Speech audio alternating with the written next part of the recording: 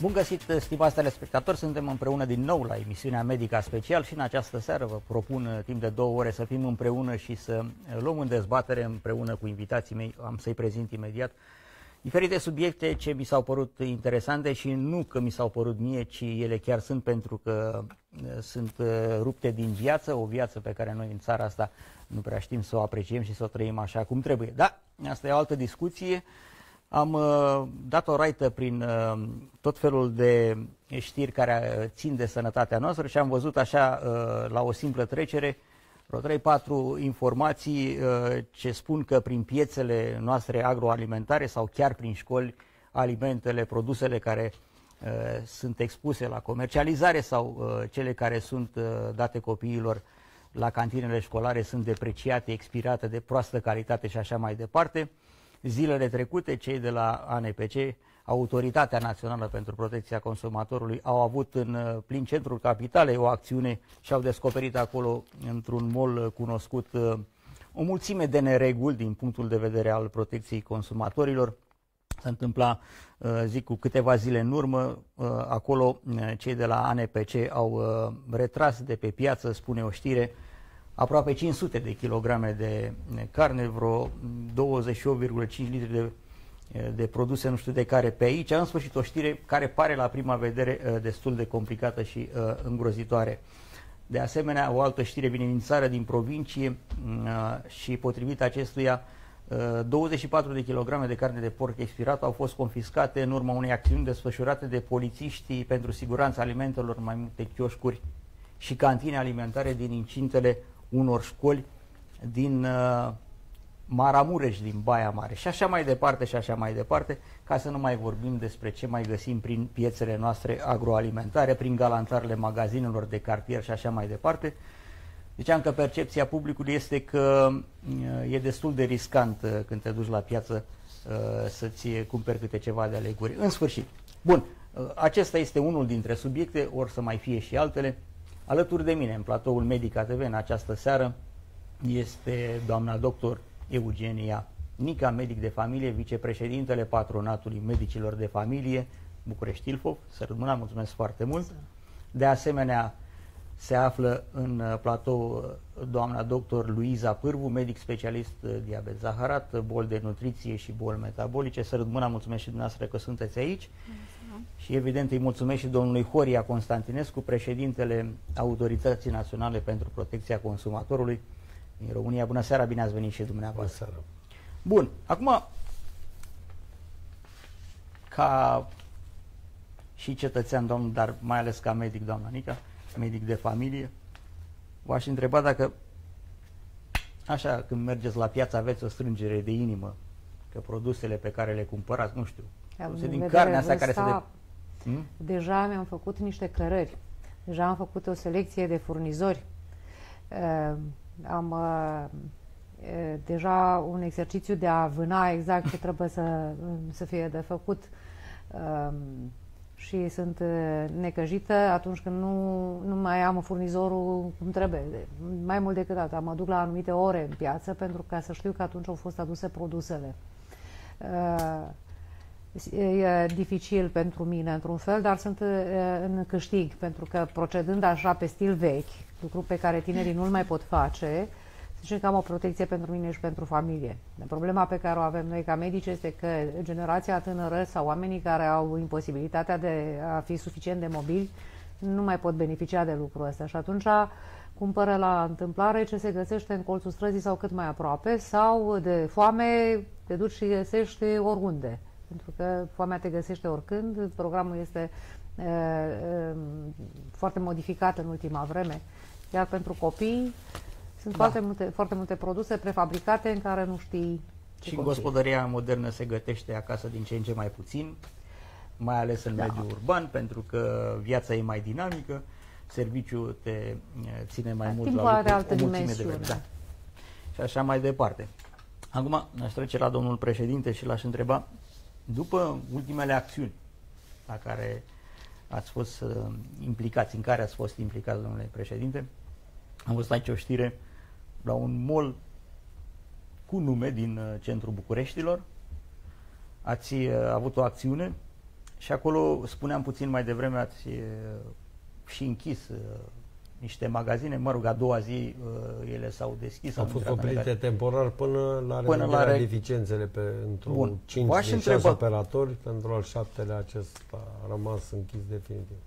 Care au fost deficiențele sau care sunt în mare deficiențele astea din punctul de vedere al protecției consumatorului în bucătăriile acelor uh, întreprinzători cu nume, cu rezonanță, zic eu, de la care avem niște pretenții, adică dacă n-ar fi fost în mijlocul capitalei și ar fi fost într-un orășel de provincie prăfuit, uh, sigur, pericolul pentru sănătate e același. Dar, uh, totuși, din capitală aveam mai multe pretenții. Și uitați că le găsim și acolo. O să vorbim și despre provincie. Da. Din perspectiva noastră ca autoritate, consumatorul este același, are același drepte sigur. absolut oriunde se află și oriunde consumă atât servicii cât și produse. Deficiențele constatate, credem noi că au la bază, și nu contenesc să o repet, nesimțirea în primul lucru, care nu poate fi sancționat de lege. Trebuie să înțelegem că indiferent de rigorile legii, indiferent de sancți- eventualele sancțiuni, totuși cei care pun pe piață astfel de servicii se adresează semenilor lor, români și ei, vecini, prieteni, s-ar putea, sau oricum oameni care merită și o apropiere umană, nu numai una bazată pe exigențele legale. Ceea ce noi depistăm în aceste controle este, are două aspecte, și anume o proastă gestionare, defe, de, o gestionare defici, defectuoasă a atât a procesului tehnologic, cât și a condițiilor de depozitare sau de procesare alimentelor, cât și o evaluare, cred eu, defectuoasă a unora dintre colegii noștri, cei pe care și verificăm, a căror activitate și verificăm zilele acestea, cât și a altor structuri care până la urmă ar trebui să înțeleagă că verifică după aceleași acte normative, fac același tip de evaluare și lasă pe piață același tip de pericol așa cum ni-l am imaginat noi sau nu ni l-am imaginat noi că îl putem descoperi în astfel de acțiuni de control. Uh, este un mesaj de fermitate la aceste autorități. Bun. Dacă lucrurile au putut merge din vari motive sau funcționa așa până astăzi, nu, cu siguranță nu se mai poate continua. Bun, nu se mai poate continua. Uh, spuneați că o parte dintre cei pe care i-ați găsit în neregulă dau dovadă de nesimțire și că nu se poate sancționa. Totuși, Nesimțirea nu formule. se poate sancționa. Da, nesimțirea, da. Noi sancționăm deficiențele și încălcările legii fără discuție mi-ar plăcea totuși să existe și o sancțiune măcar morală, parte dintre consumatori să înțeleagă că ne uităm și mai departe de teșghea pentru a vedea că nu suntem numai noi cei care vedem că materiile prime sunt depozitate necorespunzător, că ținuta personalului este neadecvată, sunt multe deficiențe care ar putea Bun. fi sancționate prin neachiziționarea produsului. trece la doamna doctor Pârbușa și întrebau așa, din experiența domniei sale, dacă cei care se prezintă la medic la dumneavoastră sau la alte specializări, arată în ultima vreme că mm, se alimentează, să zicem, defectuos, dar nu din punct de vedere al OPC-ului, ci din punct de vedere al calității alimentelor m-ar interesa. Pentru că și aici e o discuție, sigur, ce trebuie făcut, adică uh, vedem că piața pe anumite etichete scrie o anumită compoziție. E greu de văzut dacă acea compoziție e respectată, că nu știu, controlele se fac prin sondaj. Dar, ca incidența a bolilor produse de o alimentație defectuoasă, aceste boli cresc? Dacă, Numărul acestora siguranță, crește? Dacă ne gândim că din 1980 uh, și până în prezent, cazurile de exces ponderal s-au triplat în țara noastră, pe toată uh, populația. Uh, dacă ne gândim că bolile cardiovasculare și uh, cancerele au și ele același trend crescător în uh, ultimele decenii, cu siguranță că putem să corelăm o proastă calitate și un exces de, de, de calorii pe care le avem constant, da? nu e o zi uh, în care ne alimentăm prost, uh, nu este de obicei uh, Uh, suficientă pentru a declanșa, eu știu, un diabet sau uh, obezitate sau uh, alte boli cronice. Dar în momentul în care acest lucru este repetitiv și în momentul mai ales în care uh, alimentația este necorespunzătoare de la vârste din ce în ce mai mici, ne așteptăm să, să avem o pandemie de, de obezitate, să avem creștere de cazuri de uh, diabet zaharat.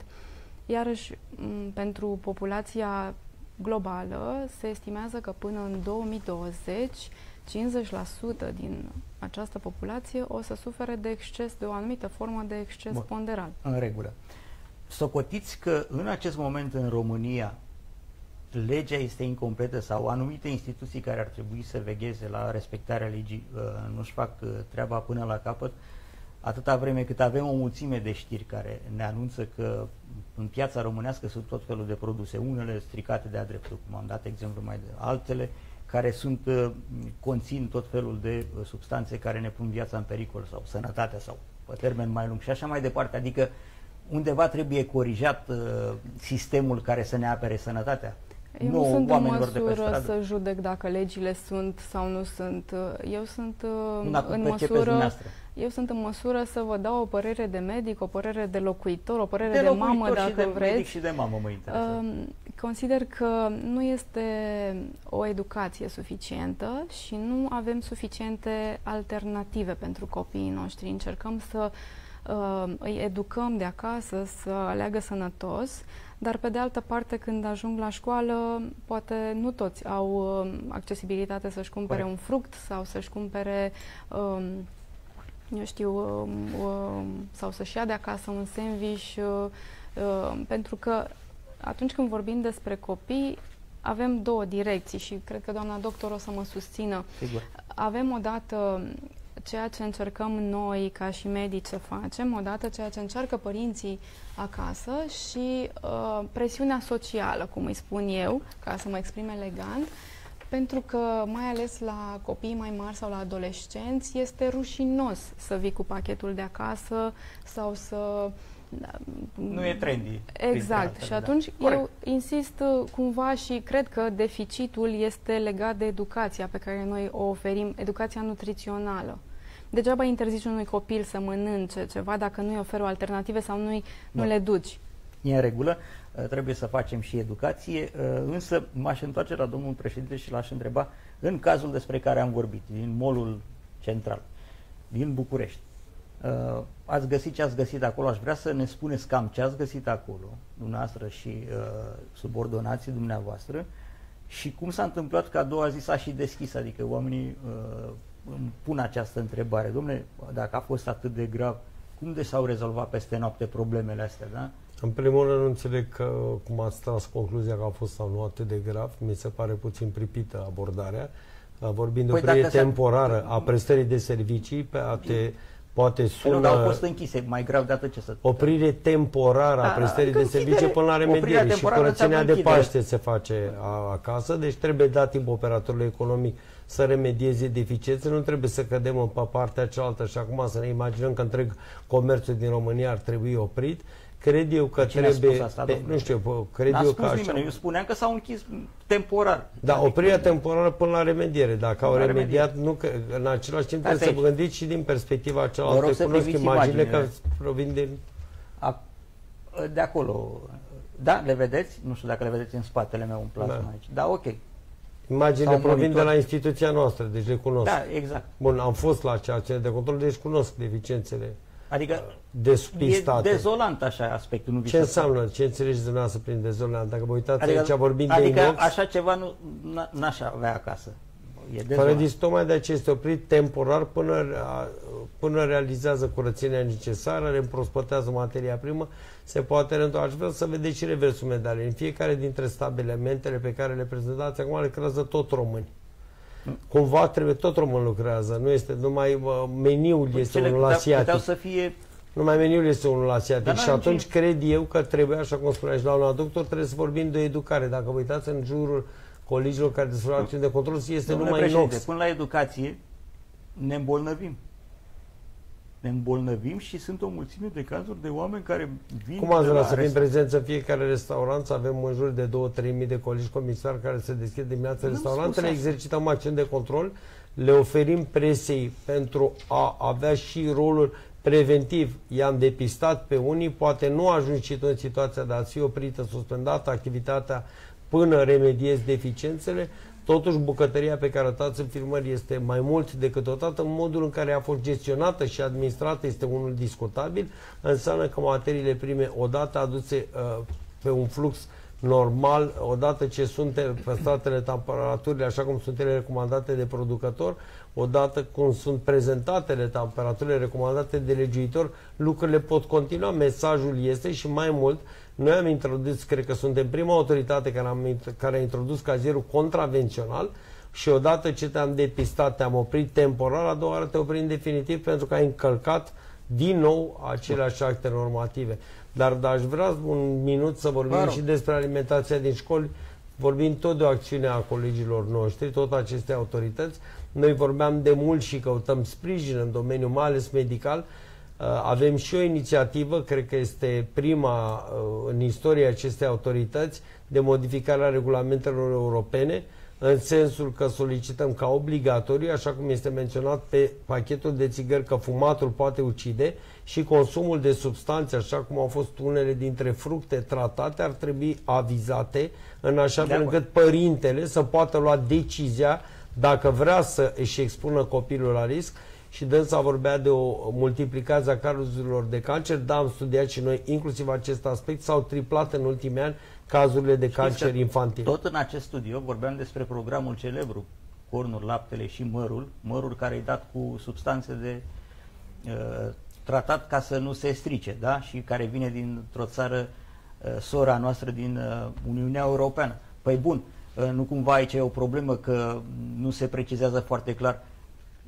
ce putem să le dăm copiilor și ce putem să nu le există, dăm sau de ce să le dăm mere tratate de Există o fel? cantitate tolerată de Uniunea Europeană, după da. părerea mea, așa cum probabil nu de la prima țigară pe care ai fumat-o mori, dar există riscul și ipoteza că ai putea fumând să-ți periclitezi da. sănătatea, cred că în același fel ar trebui, așa cum am repetat-o, o informare transmisă corect părinților pentru a lua o decizie. Vreau să expun copilul la uh, ingerarea de imazăliri sau nu. Ar trebui până la urmă. Dar inclusiv astăzi noi am desfășurat acțiuni de control pe baza unor sesizări apărute în presă legate de acest program de care vorbiți în județele Giurgiu și Telorman. Concomitent s-au desfășurat acțiuni de control în Alba, Buzău, Telorman, Giurgiu, la absolut toți producătorii apăruți pe apăruți uh, câștigători ai mai multor licitații pentru a depista eventuale nereguli. Aveți niște date parțiale?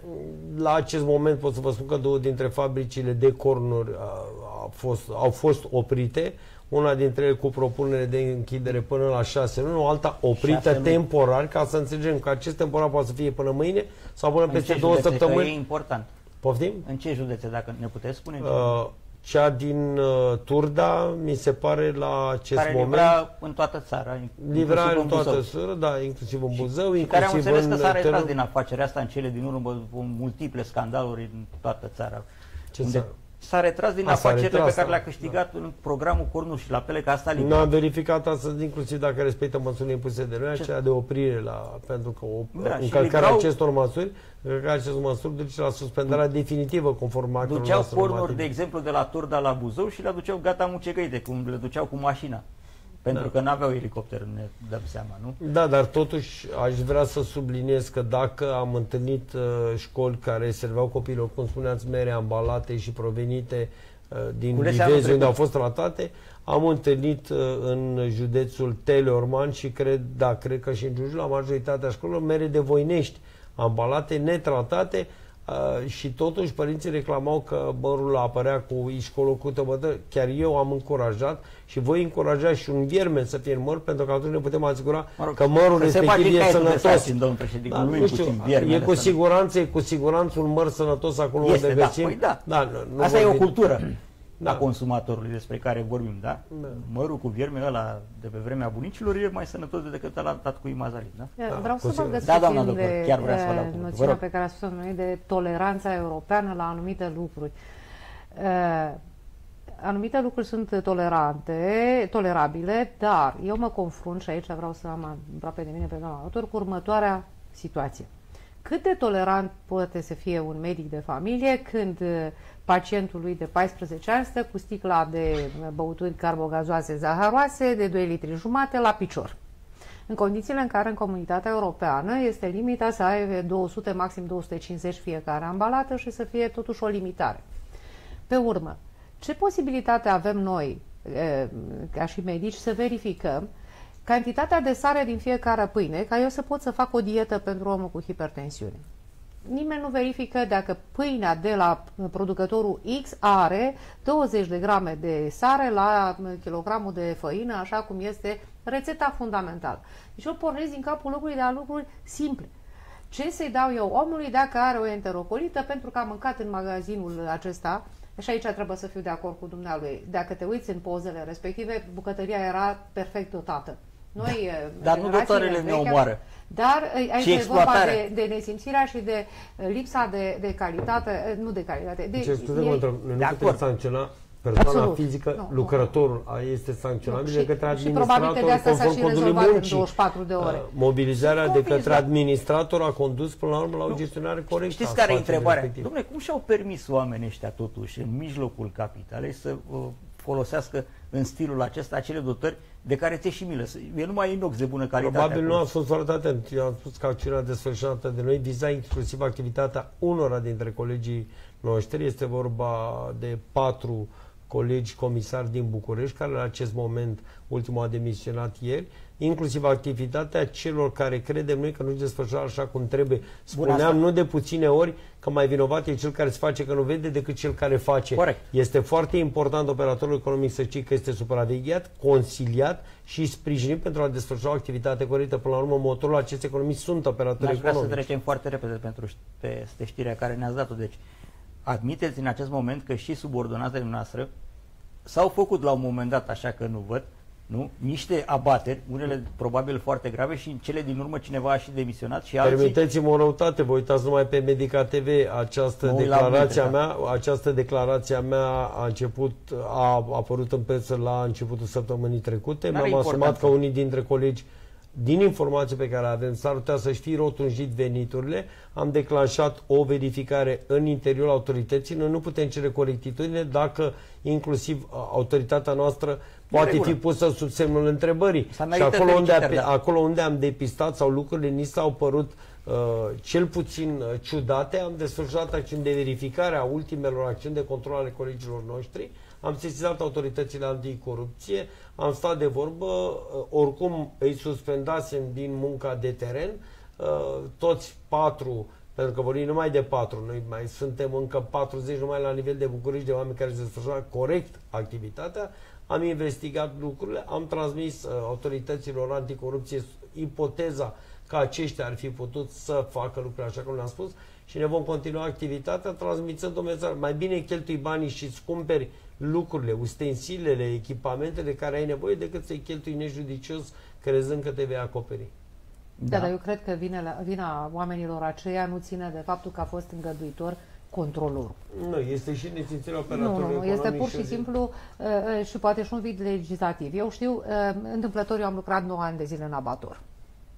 Imediat după Revoluție, așa zisă Revoluție, uh, am dat examen de uh, intrare în București pe specialitate și așa ăsta a fost postul. Și știu clar cum se lucrau atunci, abatorul fiind în stil vechi, ce s-a înnoit și, ce, uh, și vreau să ajung din nou la cantitate. De exemplu, se folosea nitrit de sodiu doar la două produse din ceea ce aveam noi atunci, iar șeful de laborator stătea și avea un audit intern și verifica această cantitate să fie doar aceea. Noi aici am vorbit doar de nesimțirea categorii, de a ține curățenie și de a păstra un anumit circuit al alimentelor, dar în ansamblu se, se putea face treabă bună și să se păstreze regulile numai din din elementar, până și cea mai grețoasă noră putea să țină uh, ordine acolo, uh, într-un fel. Pe de altă parte, dacă stai să-l asculti și pe patron sau ce la organizatorul, spune, domnule, nu mai am forță de muncă, nu este calificată, deci nu are cu cine să lucreze. Deci sunt foarte mulți factori care concură și atunci o singură scăpare sau o singură indulgență din partea controlorului, controlorului poate să ducă la, la lucrul ăsta. Uh, și mi se pare stupid să stai uh, doar să controlezi. Corect ar fi să ai niște norme foarte clare în care să spui dacă ai încălcat de la categoria A una dintre ele, direct în procuratură, direct în amenințarea siguranței statului și pe urmă devenim îngăduitori pentru alte lucruri care pot fi, de exemplu, că mi-a stat mie cu sonul mai cumva sau mi-a căzut căciula de pe cap. Care discuții că nu acestea sunt, sunt cele care conduc la suspendarea activității, ci acolo da, de derapajele pot pune în pericol sănătatea. Corect, despre asta Și de ce nu viața? Pentru că deseori și subscriu la ce spunea dânsa, ceea ce astăzi consumăm și poate reprezenta un pericol, nu înseamnă că murim pe loc. Înseamnă că de-a lungul timpului proiecția asupra sănătății noastre poate fi dezastroasă. Ieftin va fi curând nou scump. Da. Ceea ce cumpărăm astăzi fără să verificăm ne va costa cândva mult mai mult. Da, dar problema mea este asta. Cine verifică și cine verifică dozajul eu am luat un, un simplu exemplu, acest mitrid de sodiu pe care îl cunoșteam ar trebui să fie 0,02 de la, la, la kilogram. Cine mi l-a cantărit? Peste tot, în toate afișajele acelea, să știți că am verificat, nu este scrisă nicăieri cantitatea. Nici la sare. Revin. La dieta pe care eu trebuie să o prescriu în cazul în care un om are o enterocolită sau o iritație gastrică sau mănâncă la nuntă, cum am mâncat eu săptămâna trecută și de fapt n-am mâncat nimic pentru că nimic nu era sigur, dar absolut nimic nu era sigur, extrem de dubios, uh, și uh, să merg acum la rafinament și să întreb ce uh, conține rația respectivă, produsul respectiv. Cred că instituțional, am ce să vă întreb, ar trebui să începem să colaborăm. Salut uh, deja colaborarea cu un grup de medici dermatologi pentru informațiile Corect. aflate pe cosmetice. Cred că alături de dumneavoastră, medici de familie, alături de dumneavoastră, nutriționiști, ar trebui ca împreună să construim Absolut. și să elaborăm acte normative, inițiative la nivel european, să știm, de exemplu, că este esențială uh, aflarea cantității de sare dintr-un produs, să o solicităm uh, europenilor ca obligatorie pe, uh, pe etichetele produselor și încet, încet să putem nu numai, spuneam eu, avea rolul de pelicane a Europei, să deschidem plisul, să păpăm regulamente europene,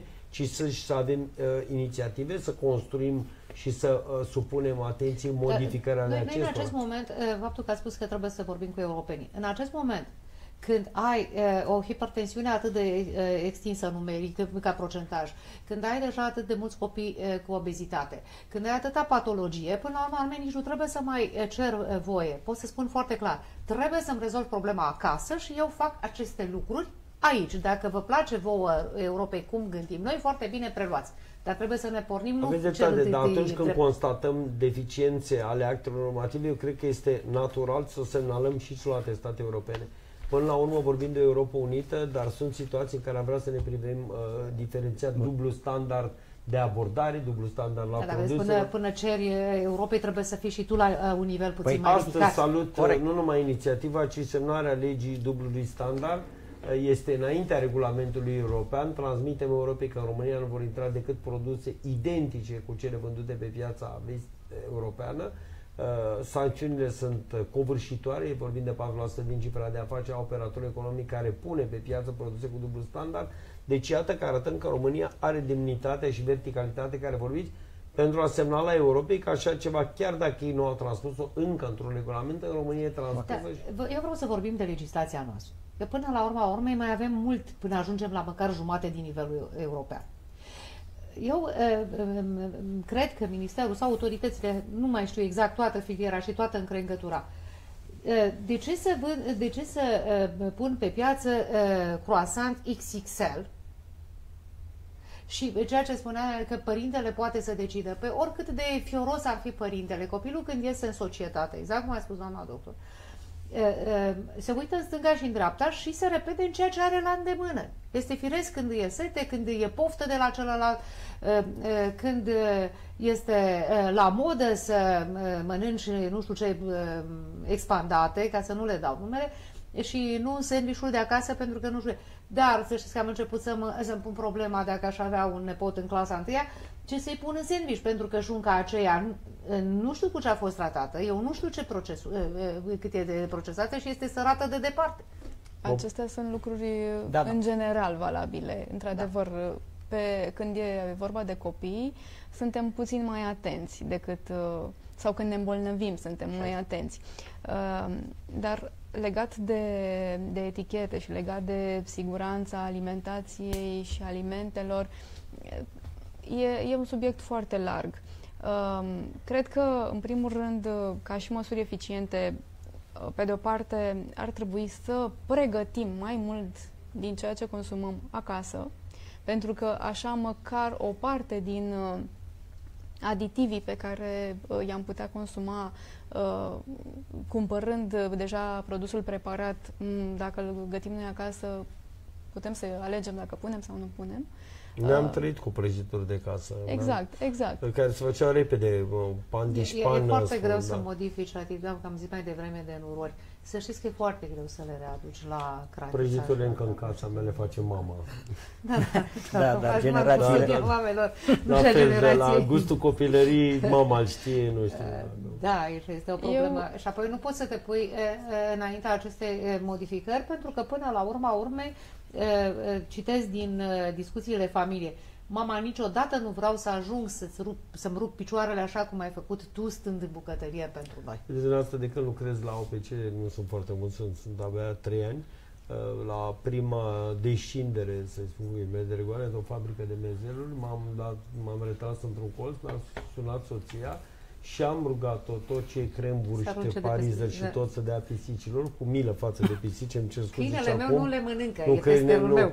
Dar pisicile cumva bă, știam că vor aprecia acest festin.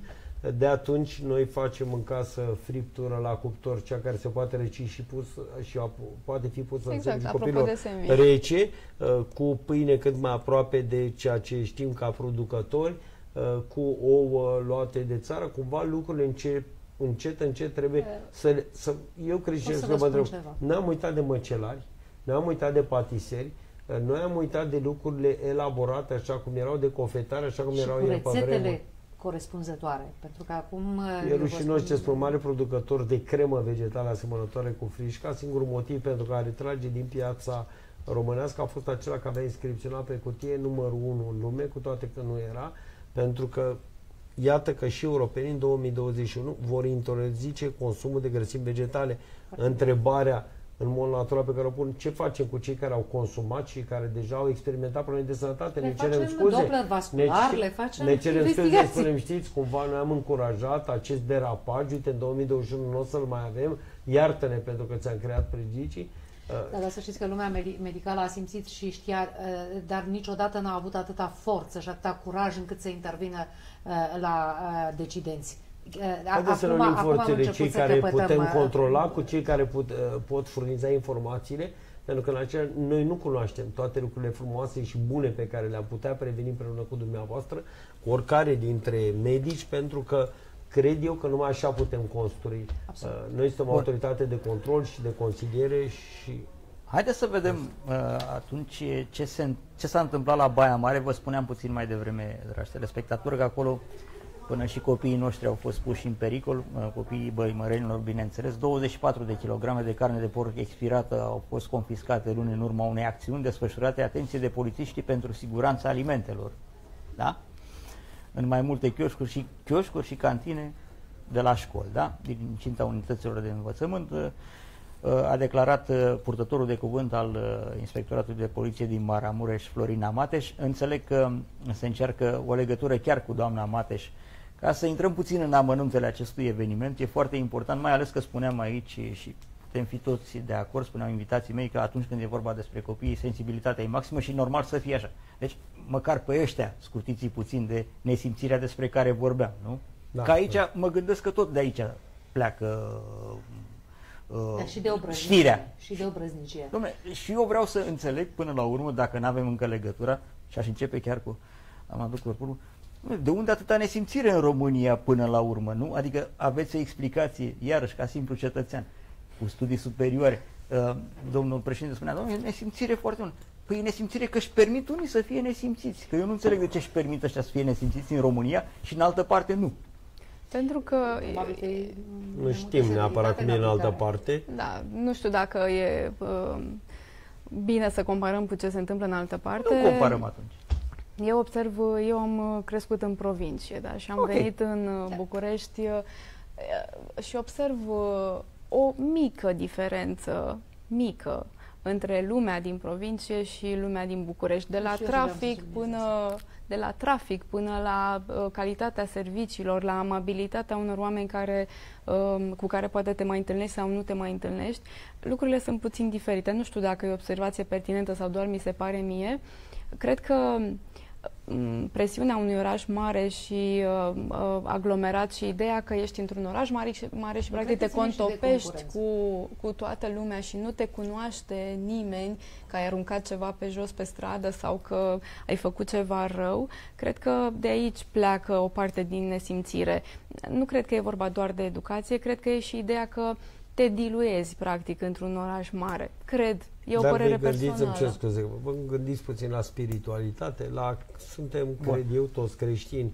Când pui pe masa unui copil produse în afara termenului de durabilitate sau cu data limită de consum depășită, îți asumi că poți provoca acestuia uh, nefericire, suferință, ceea ce mi se pare, mai mult decât uh, nesimțire, mi se pare o lipsă de abordare creștină. Până la urmă este un copilaș care poate fi al tău, poate fi al apropiaților tăi și tu pentru Dumnezeul ban da. Uh, Ei, da. Până, până la, la urmă... Până la, este, de acord. Sunteți într-o etapă mult prea înaltă ca să se gândească da, de cum o pucă Până la Dumnezeu, Dumnezeu. Zeu ban contează. Că... Da. Gătește, nu de cum o... Pe ideea pe care a ridicat-o doamna doctor și eu am gândit exact același lucru pregătindu-mă venind în drum.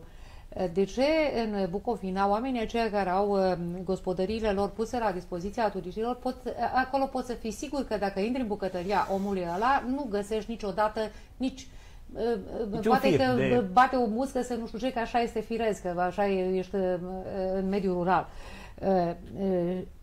Aici lucrurile au fost permise de la și încă ceva, în afară de nesimțire și ce am mai zis noi, vine și nepregătirea. Până la urma urmei, omul acela în bucătărie trebuia să fie un profesionist în așa fel încât să știe ce are de făcut și să-și respecte în tocmai.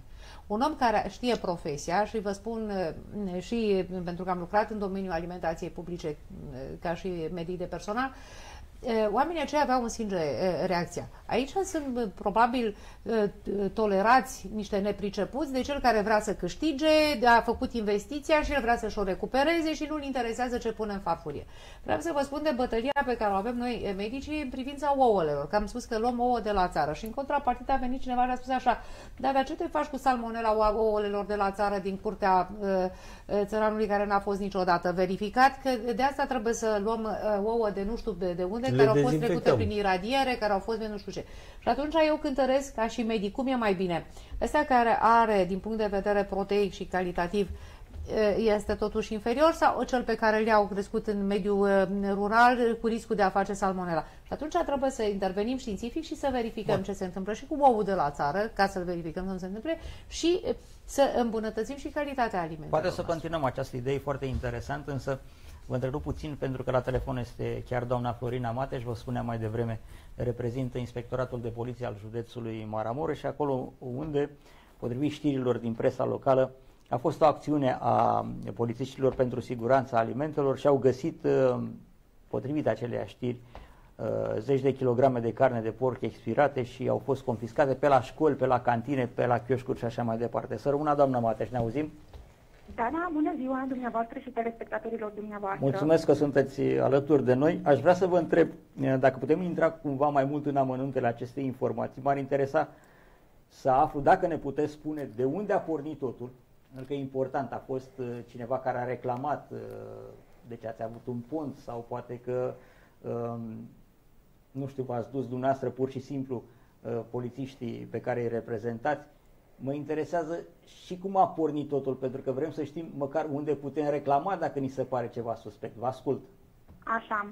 Uh, practic nu a fost o reclamație sau o sesizare depusă în acest sens, a fost o acțiune organizată de colegii mei specializați în investigarea criminalității economice pentru prevenirea, descoperirea și combaterea faptelor ilicite care se comit în domeniul evaziunii fiscale, Uh, și pentru că a început școala uh, pentru protejarea elevilor împotriva unor acte de comerț ilicit cu produse expirate.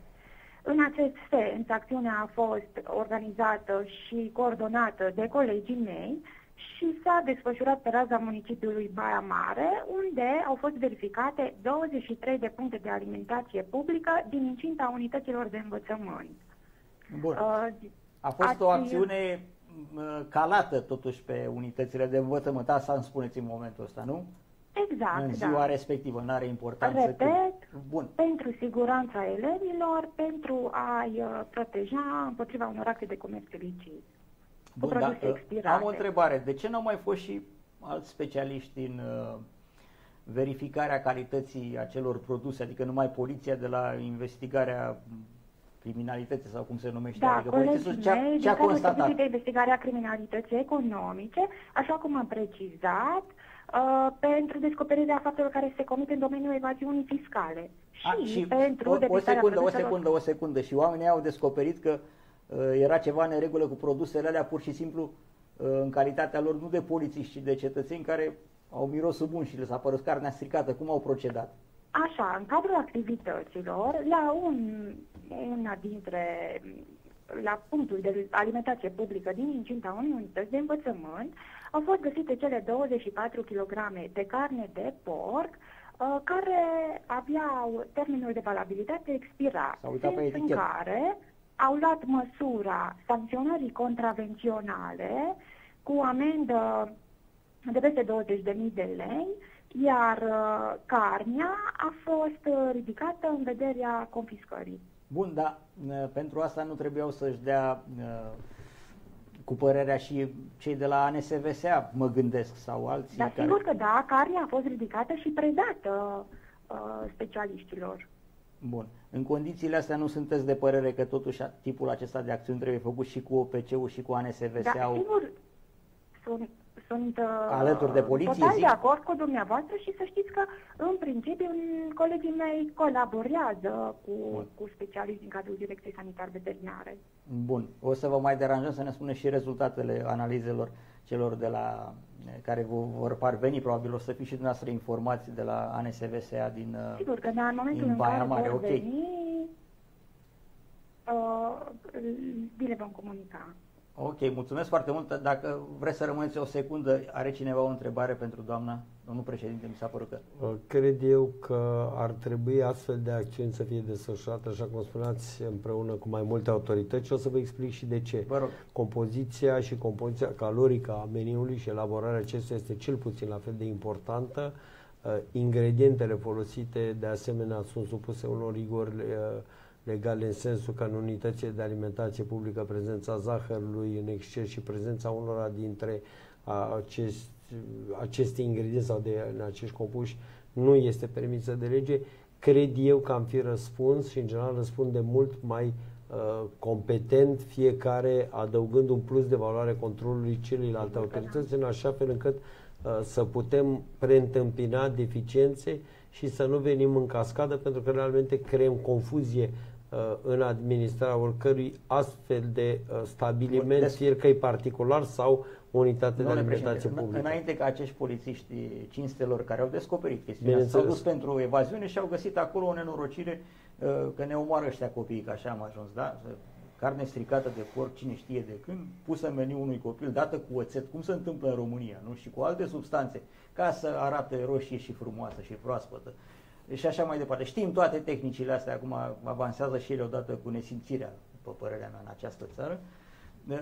Mă interesează să știu dacă alte instituții decât a dumneavoastră, și mă gândesc la ANSVS, ar, ar putea să descopere ei aceste chestiuni în afara poliției, zic. Colegii de la sanitar veterinar și aș vrea să încet, încet, cred eu că ar trebui lămurită această confuzie nu reprezintă o poveste totemică deasupra celorlalte autorități.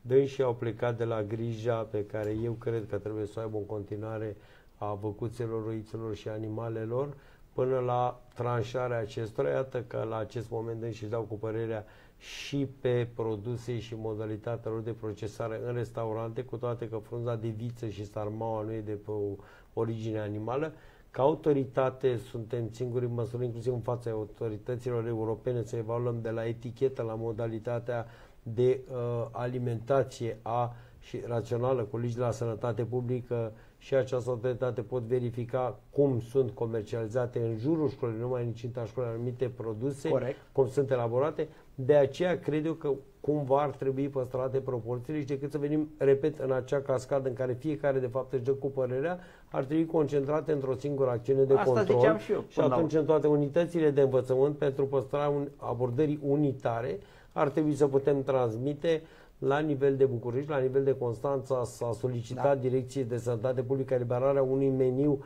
cu recomandare de calorii, cu recomandare de materii prime, în așa fel încât totul să fie unitar, nu vorbim numai de școală particulară sau de școală de stat, copiii au dreptul să mănânce aceleași lucruri bune și sănătoase în interiorul într-adevăr da. termenul de durabilitate. Mulțumesc foarte minimală. mult pentru aceste puncte de vedere, doamna Mateș.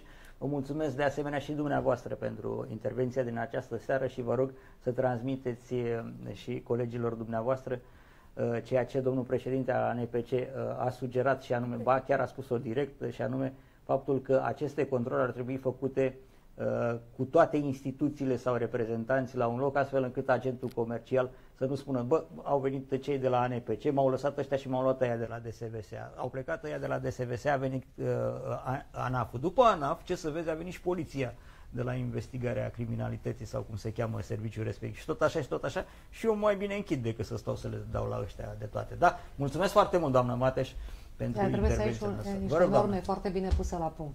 Pentru că e, dacă fiecare dintre instituții vine și a- are e, normele lui de lucru și e, vizează numai anumite ținte, atunci chiar că omul ăla mai bine închide Sunt și acte vede normative de comune, doamne. Poftim? De cele mai multe ori sunt acte normative comune. Numai că lecturarea lor și acum recunosc că aplicarea să lor rătăcește este și aplicarea lor este cumva diferită. Dau cel mai recent exemplu, hala veche, obor pe da. a care activitatea noi am suspendat-o cu mare tam-tam pentru că ceea ce am depistat acolo era de noaptea minții. Uh, are la parter un birou al Colegiului la Sanitar Veterinar și în registrele fiecare de control sunt cel puțin 3-4 autorități trecute în cascadă. Întrebarea este singurii care au văzut șobolanii din incintă și lucrurile așa cum erau ele, de ce am fost noi. Poate avem, nu știu, niște colegi cu o privire mai argeră, uh, tratați de niște medici de familie mult mai competenți. Cred eu că la acest moment ar trebui cumva să calmăm lucrurile, să ne azăm la masă absolut toate autoritățile, un semnal pe care l-am transmis colegilor din sanitar veterinar când coordonam comandamentul litoral și corpul de control al NPC-ului, nu mai putem unii să autorizeze, alții să zice autorizațiile, citind același act normativ. Cumva trebuie să ne așezăm. Astăzi uh, am suspendat activitatea într-o acțiune amplă în zona Unirii, uh, am suspendat activitatea unei dughene cu indulgență care era, era un laborator de patiserie. Cred eu, cu- autorizat ca laborator. Nu mai putem continua cu o abordare diferită. Unii să fim mai miloși, că poate, nu știu, seamănă cu mătușa cel care face langul Deci și cu cineva brânză. autorizează Dar în România și dumneavoastră Nu, nu, da. sancționați sau cum? Îmi asum că și, și la pădurea noastră sunt uscături, dar cred eu că nu asta e important să Nu. depistăm vinovații în autorități, ci modul în care abordăm de aici încolo. Am depistat nereguli, am depistat că este nevoie de o prezență mai solidă și o abordare unitară, hai să vedem cum construim de aici încolo. Pentru că gestionarea și evaluarea trecutului nu știu dacă mai, va mai adăuga uh, perspective bune consumatorului român și numai ce facem de azi înainte pentru viitor. Și atunci noi ne-am arătat disponibilitatea de a reciti împreună actele normative cu intonație, că poate intonația unora e mai, sună, face actul normativ să sune mai dur, altora să sune mai blând, cumva să citim la unison același act normativ, să-l interpretăm la fel și să știm că depistăm împreună lucrurile nesigure. Uh, Vreau să vă arăt, uh, să pun în discuție niște particularități. De exemplu, ați spus cuvântul, uh, era o dugheană. Nu ideea de dugheană este problema noastră. De exemplu, uh, pe uh, un post de televiziune care promovează turismul arată că undeva în Italia se stă la coadă la o uh, dugheniță din asta în care se produc patru uh, feluri de mâncare de o calitate extraordinară, unde se păstrează toate regulile și lumea stă la coadă și aceea uh, este promovată în continuare. Nu ideea de dugheană, Eu cred că ideea ați de, vrea de să vă referiți la o orlotă, așa cum sunt și în Germania, Da, cu exact. inox, cu dotările Da. suficiente. Eu când Cu vă suficient spun și cu uh, curățenia Cașcarabetă sau Dugheana, vorbim de o construcție cu dușumea pe jos, fără linoleum antiseptic, din OSB, mie mi-era greu At- să cred că o atunci ducem în acum a zona fost Piața acceptată Unirii. din stat. Nu știu, între, este o întreb, un semn de întrebare pe care ne-am ridicat și noi. Eu mi-am Am schimbat solicitat acum- toate Păi Păi nu, autorizațiile. dar cine, la, cine a autorizat asta? O să aflăm mâine și vom sesiza conform cu Nu, dar în uh, general, actelor cine- normative care stau la baza activității, vom sesiza autoritatea de control emitentă a avizului pentru retragerea acestuia Da, în general, sau reevaluarea cine, acestuia. Trebuie să știți, cine fa- face, cine a dat avizele pentru ca acea... Uh, Cineva care e bine mersi Producție. la Napoli acum și mănâncă la Dugheană la coadă unde am spus eu. Da, nu știu, da. e Cineva posibil, care da, probabil... Da, că acolo își permite. da. Cineva care a, a făcut și acum recunosc, încă o dată mi-asum faptul că de la mitocan la răutăciosul care astfel Nu de e apelativ problemă. mi-l asum, cineva care a sărit prea repede de, de la stână în autorizare restaurante și cred eu că parte dintre colegii emitenți de autorizație ar trebui să reevalueze Da, nu cred că e animalele. neștiință de carte asta aici. Nu, ține de, așa cum spuneți, de cine e mai periculos, cine se face că nu vede, de cel care face. Așa ne gândim. Eh, da. Oportunismul Uh, Pot să spun societății. coordonam comandamentul, nu, comand, nu numai comandamentul, și comisariatul Constanța, de acolo sosesc ca activitate. Am pus în vedere uh, prefectului județului Constanța uh, 21 de filmări a 21 de locații a căror activitate noi am suspendat, autorizate în anul 2019 de colegii la sanitar veterinar, care încă o dată și pe care le-a pus să le transmit, cred eu că lucrurile ar trebui abordate în mod unitar, la unison, pentru a nu crea astfel de derapaje majore în piață, pentru că până la urmă și operatorul economic se întreabă, uh, e o formulă în care noi luăm bani, să autorizăm și alții le au bani să închidă, sau putem cumva să încurajăm lucrurile serioase și corecte pe piață. Ia auziți, mai avem o știre asta pe final, așa. Polițiștii locali gălățeni au descoperit mai mulți comercianți care vindeau carne de pasăre colorată cu o substanță galbenă, da? Pentru a avea aspectul puiilor de țară. Am văzut și la case mai mari. Da, baci puiul în oală, îl fierbi și dispare culoare. Să nu dispară oala, că mai Da? avem puțin și... Sau dispare oala dacă se topește. Dacă se dizolvă, da. Bun. Incidentul spune unde s-a petrecut undeva într-o piață din Galați. 12 kg de carne de pasăre a fost, uh, au fost ridicate kilogramele astea în vederea confiscării și predată unui operator economic să le distrugă nu știu ce persoane. În cauza au fost acționate cu o amendă de 500 de lei Dar fiecare, unul a deci 5 fugit. milioane. Dar unul a fugit, așa se încheie articolul. Da.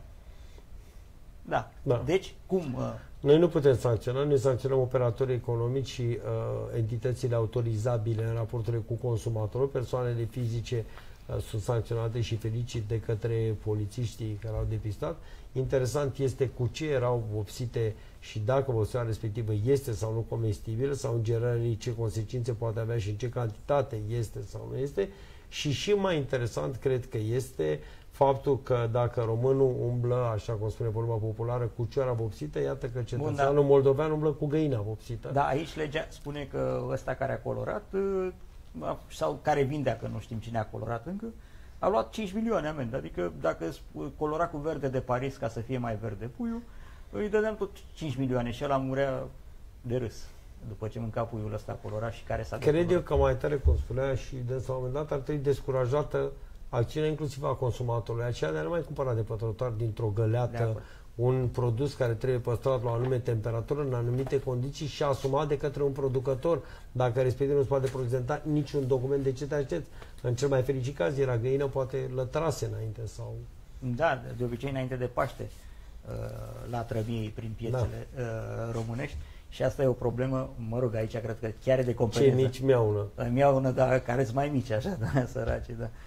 Uh, Doamna doctor Părbu, e, e, am dat unul și pe glume așa, dar lucrurile mi se par foarte trist. serioase. Nu, exact. nu e trist? E, e trist, pentru că trendul acesta bun de a mânca aproape de natural, pentru că 100% natural nu cred că mai există nicăieri, uh, trendul acesta uh, ne poate duce în niște capcane foarte periculoase. Nu știu, și eu mă întrebam cu ce a fost vopsit. Că dacă a fost vopsit cu, nu știu, curry sau... uh, Galus ar fi iar comestibil. ca bine. E, Oare- cum Paștele spun eu, curând. e, pui mâncarea puilor pentru că la țară e, e, e, acum vreo 30-40 de ani se punea albastru de metilen în apa puilor pentru ca să-i trateze de nu știu ce e, gripă. Și e, bineînțeles că erau e, vineții, așa, cum erau cu coanele pe vremuri când se dau cu violet de gențian. E, Probabil că același lucru, exact cum se pune nu știu ce culoare în apa de trandafir, același lucru au făcut și cu ei. eu, din punctul meu de vedere ca medic, pe acești oameni îi consider ca pericol uh, pentru siguranța uh, păi, cetățeanului și asta este caz penal, din punctul meu de vedere. Așa ar trebui. Pentru că dat, noi ne confruntăm cu niște alergii cumplite și nu știm de unde să le găsim. În Dar fiecare știi? zi ai pe cineva care îți vine cu o alergie și precis că este din deci, Doamna doctor și stimați invitați, Există programul ăsta foarte bun, roșia românească, tomata românească și ne-am umplut piețele de roșii românești. Roșiile românești sunt și ele uh, de seră, sunt și ele de solar uh, sau sunt uh, de câmp. Dar nu spune nimeni ce substanțe trebuie folosite acolo și gospodarul nostru, care vrea să fie și el primul, am mai discutat subiectul, vrea să fie primul pe piață înaintea roșiilor din hipermarketuri, pune și el acolo, în loc să pună o picătură la rădăcină, pune și el vreo 20-30 acolo și găsim niște roșii de alea mutant așa care se coc foarte repede mănâncă uh, băiețelul sau fetița, uh, da, care e mai sensibil și mergem cu el la urgență. Dar noi avem... Nu controlează nimeni, pentru că programul spune, domne, nu știm. Constant avem problema asta și cu roșiile românești și cu roșiile stropite din uh, supermarketuri și din... Uh, deci în fiecare zi începem povestea asta. Cu ce ai mâncat? De unde ai cumpărat-o? Și cât era?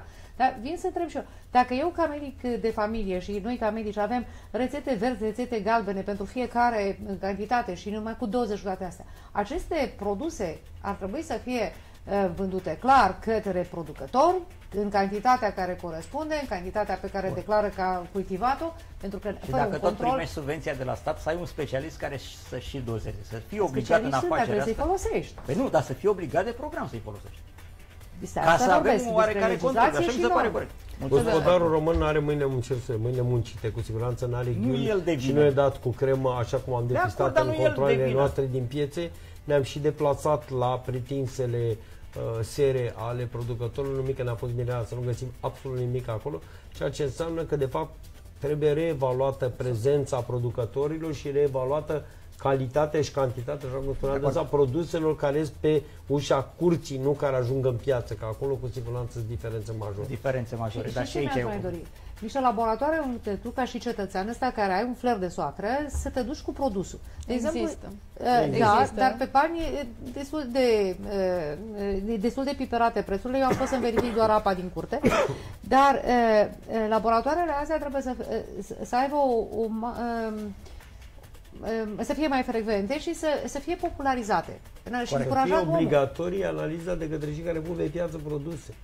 Pentru că acolo trebuie să prezinți. Ai venit cu 10 pui de găină, trebuie să prezinți la birou colegiul sanitar veterinar, ei să-și aleagă din cei 12 Bun. unul, căruia să-i facă analize, să vadă pot sau nu poți pune pe starea okay. să vii cu un pui bolnav mulțumesc foarte mult, trebuie să închem mai expirat timpul. Discuția era interesantă, poate cu altă ocazie, în aceeași formulă, mai continuăm pe aceste teme, sunt foarte importante pentru sănătatea noastră. Mulțumesc invitațiilor, mulțumesc și dumneavoastră pentru că ați fost aici alături de noi în această parte întâi nu durează foarte mult, o scurtă pauză și ne revedem cu alte subiecte foarte interesante, zic eu, și care țin de viața noastră în mod direct, și anume modul în care cu adevărat se petrec accidente de circulație în România din cauza folosirii la volan a telefonului mobil și o să vedeți amănunte extraordinare. Pauză, revenim!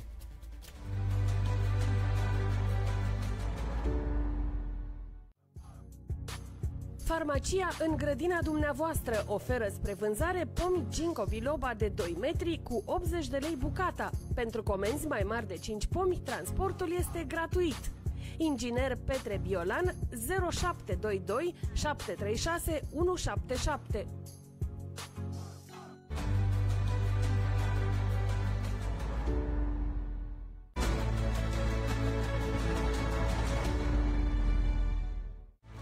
Medica TV, prima pe telecomandă. Sănătatea înainte de toate.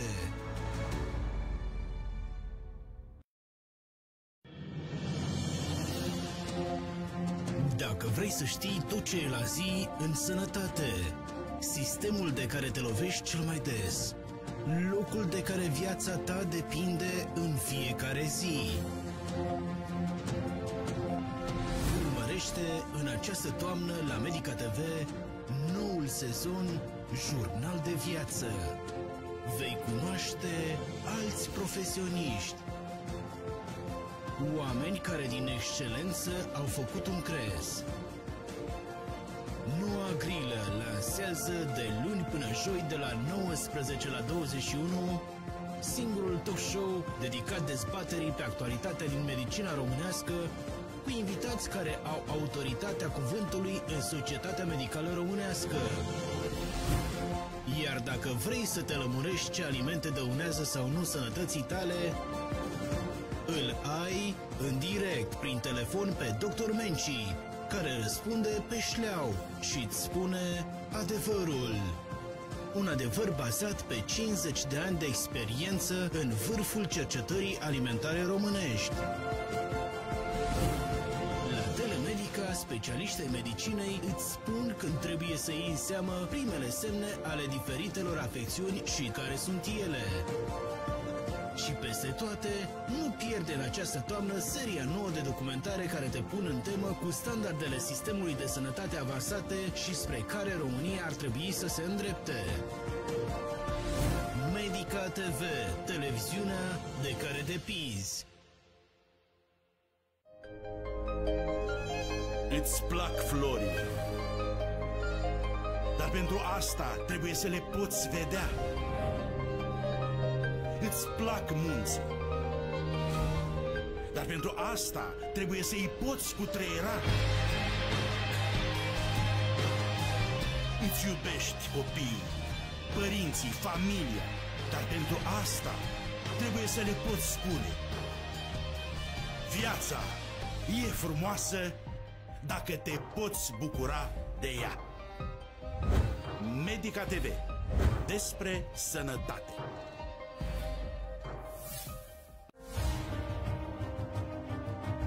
Cele mai mari case de producție de film documentar se reunesc la Medica TV. Urmărește în fiecare zi producții de excepție care te ajută să înțelegi mai bine ce înseamnă sănătatea și de ce trebuie să te bucuri atunci când o ai. Tot ce este nou în medicina internațională, științe, robotică, experimente, ce mâncăm în secolul 21. Sunt temele la zi în documentare de excepție.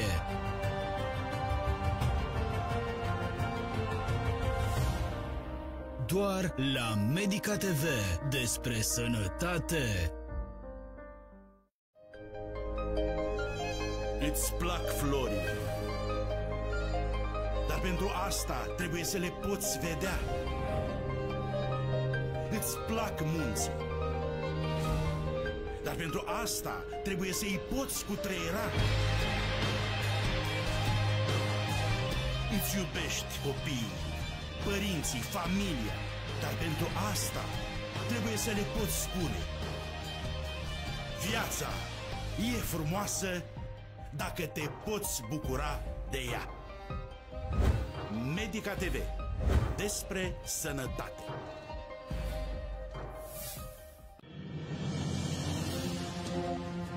Dacă vrei să știi tot ce e la zi în sănătate, sistemul de care te lovești cel mai des, locul de care viața ta depinde în fiecare zi. Urmărește în această toamnă la Medica TV noul sezon Jurnal de Viață.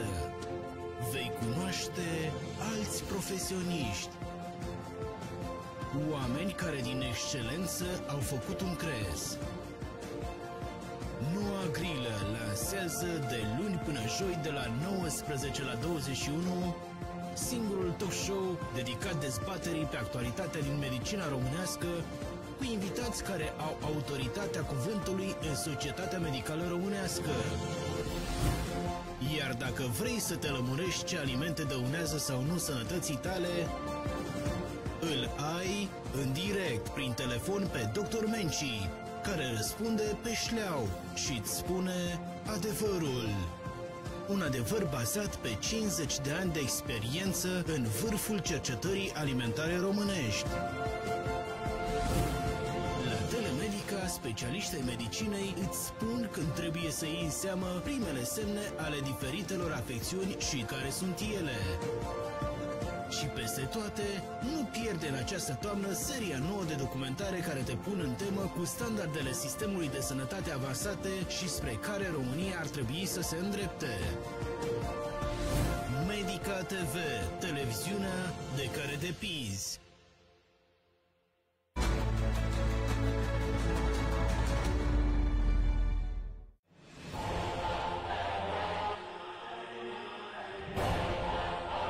Au dreptul consumatorii de droguri interzise să conducă autovehicule pe drumurile publice? Cum e posibil ca un șofer cu multiple internări la centre de dezintoxicare să obțină permisul de conducere fără semnătura unui medic toxicolog care să ateste capacitatea de a continua ca șofer? Un cetățean cunoscut dependent de droguri interzise poate deține permis de conducere.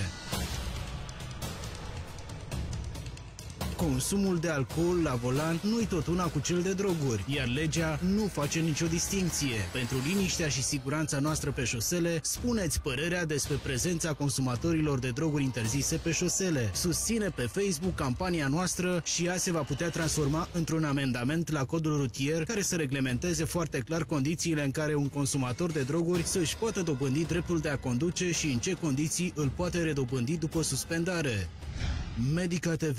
Despre sănătate. Medica TV. Despre siguranță. Medica TV. Televiziunea de care depinzi. Bun găsit din nou, suntem, iată-ne, la Medica Special în ultima parte, partea a doua, evident. Ne-am propus ca în această seară, pe acest tronson al emisiunii noastre, să luăm în dezbatere un subiect uh, de viață și de moarte la propriu, pentru că observația noastră, doar uh, deschizând televizorul uh, aproape în fiecare dimineață, cu obstinație observa asta, vedem nenorociri pe drumurile publice. Una dintre acestea, sigur că n-a trecut neobservată, ce a produs recent în începutul weekendului trecut uh, în, uh, în comuna aceea Munteni de Buzău sau cum se cheamă ea, n-are nicio importanță, oricum pe un drum dintre ăsta uh, care în general n-ar fi pus mari probleme. 10 oameni au murit, este o nenorocire care a făcut în conjurul Europei, am văzut știri pe cele mai vizionate televiziuni europene despre acest subiect. Am văzut uh, întâmplător și am să vă relatez dintr-o proprie experiență că la o acțiune a poliției de undeva, dintr-un uh, cartier, uh, se urmăreau uh, niște cerșetori, dintre ăștia cu violență, era o acțiune a poliției uh, cu jandarmeria uh, împreună. Uh, polițistul uh, polițistul vorbea la telefon în timp ce conducea, avea o mașină mai veche, un Logan, uh, inscripție, cu număr de mea, bineînțeles, și vorbea la telefon încercând să țină legătura cu uh, colegii lui și să-și ducă la capăt uh, acțiunea, nu mai avea pe nimeni în dreapta, mașină cu cutie din aceea clasică, abia schimba vitezele și așa mai departe. Și asta pentru că uh, multora dintre uh, polițiști le lipsește stația și atunci folosesc mobilul. Și apropo de mobil, asta este o chestiune uh, care chiar ne pune pe gânduri. Uitați-vă, uitați-vă, dragi telespectatori, faceți efortul acesta pe șoselele României, trageți pe dreapta să vedeți câți șoferi vorbesc la telefon cu cască sau fără cască în acest moment, după ce legea eh, se modifică, după ce pedepsele încep să fie aplicate și așa mai departe, un pericol eh, extraordinar și se vorbește, sunt surse care spun că și eh, în accidentul de la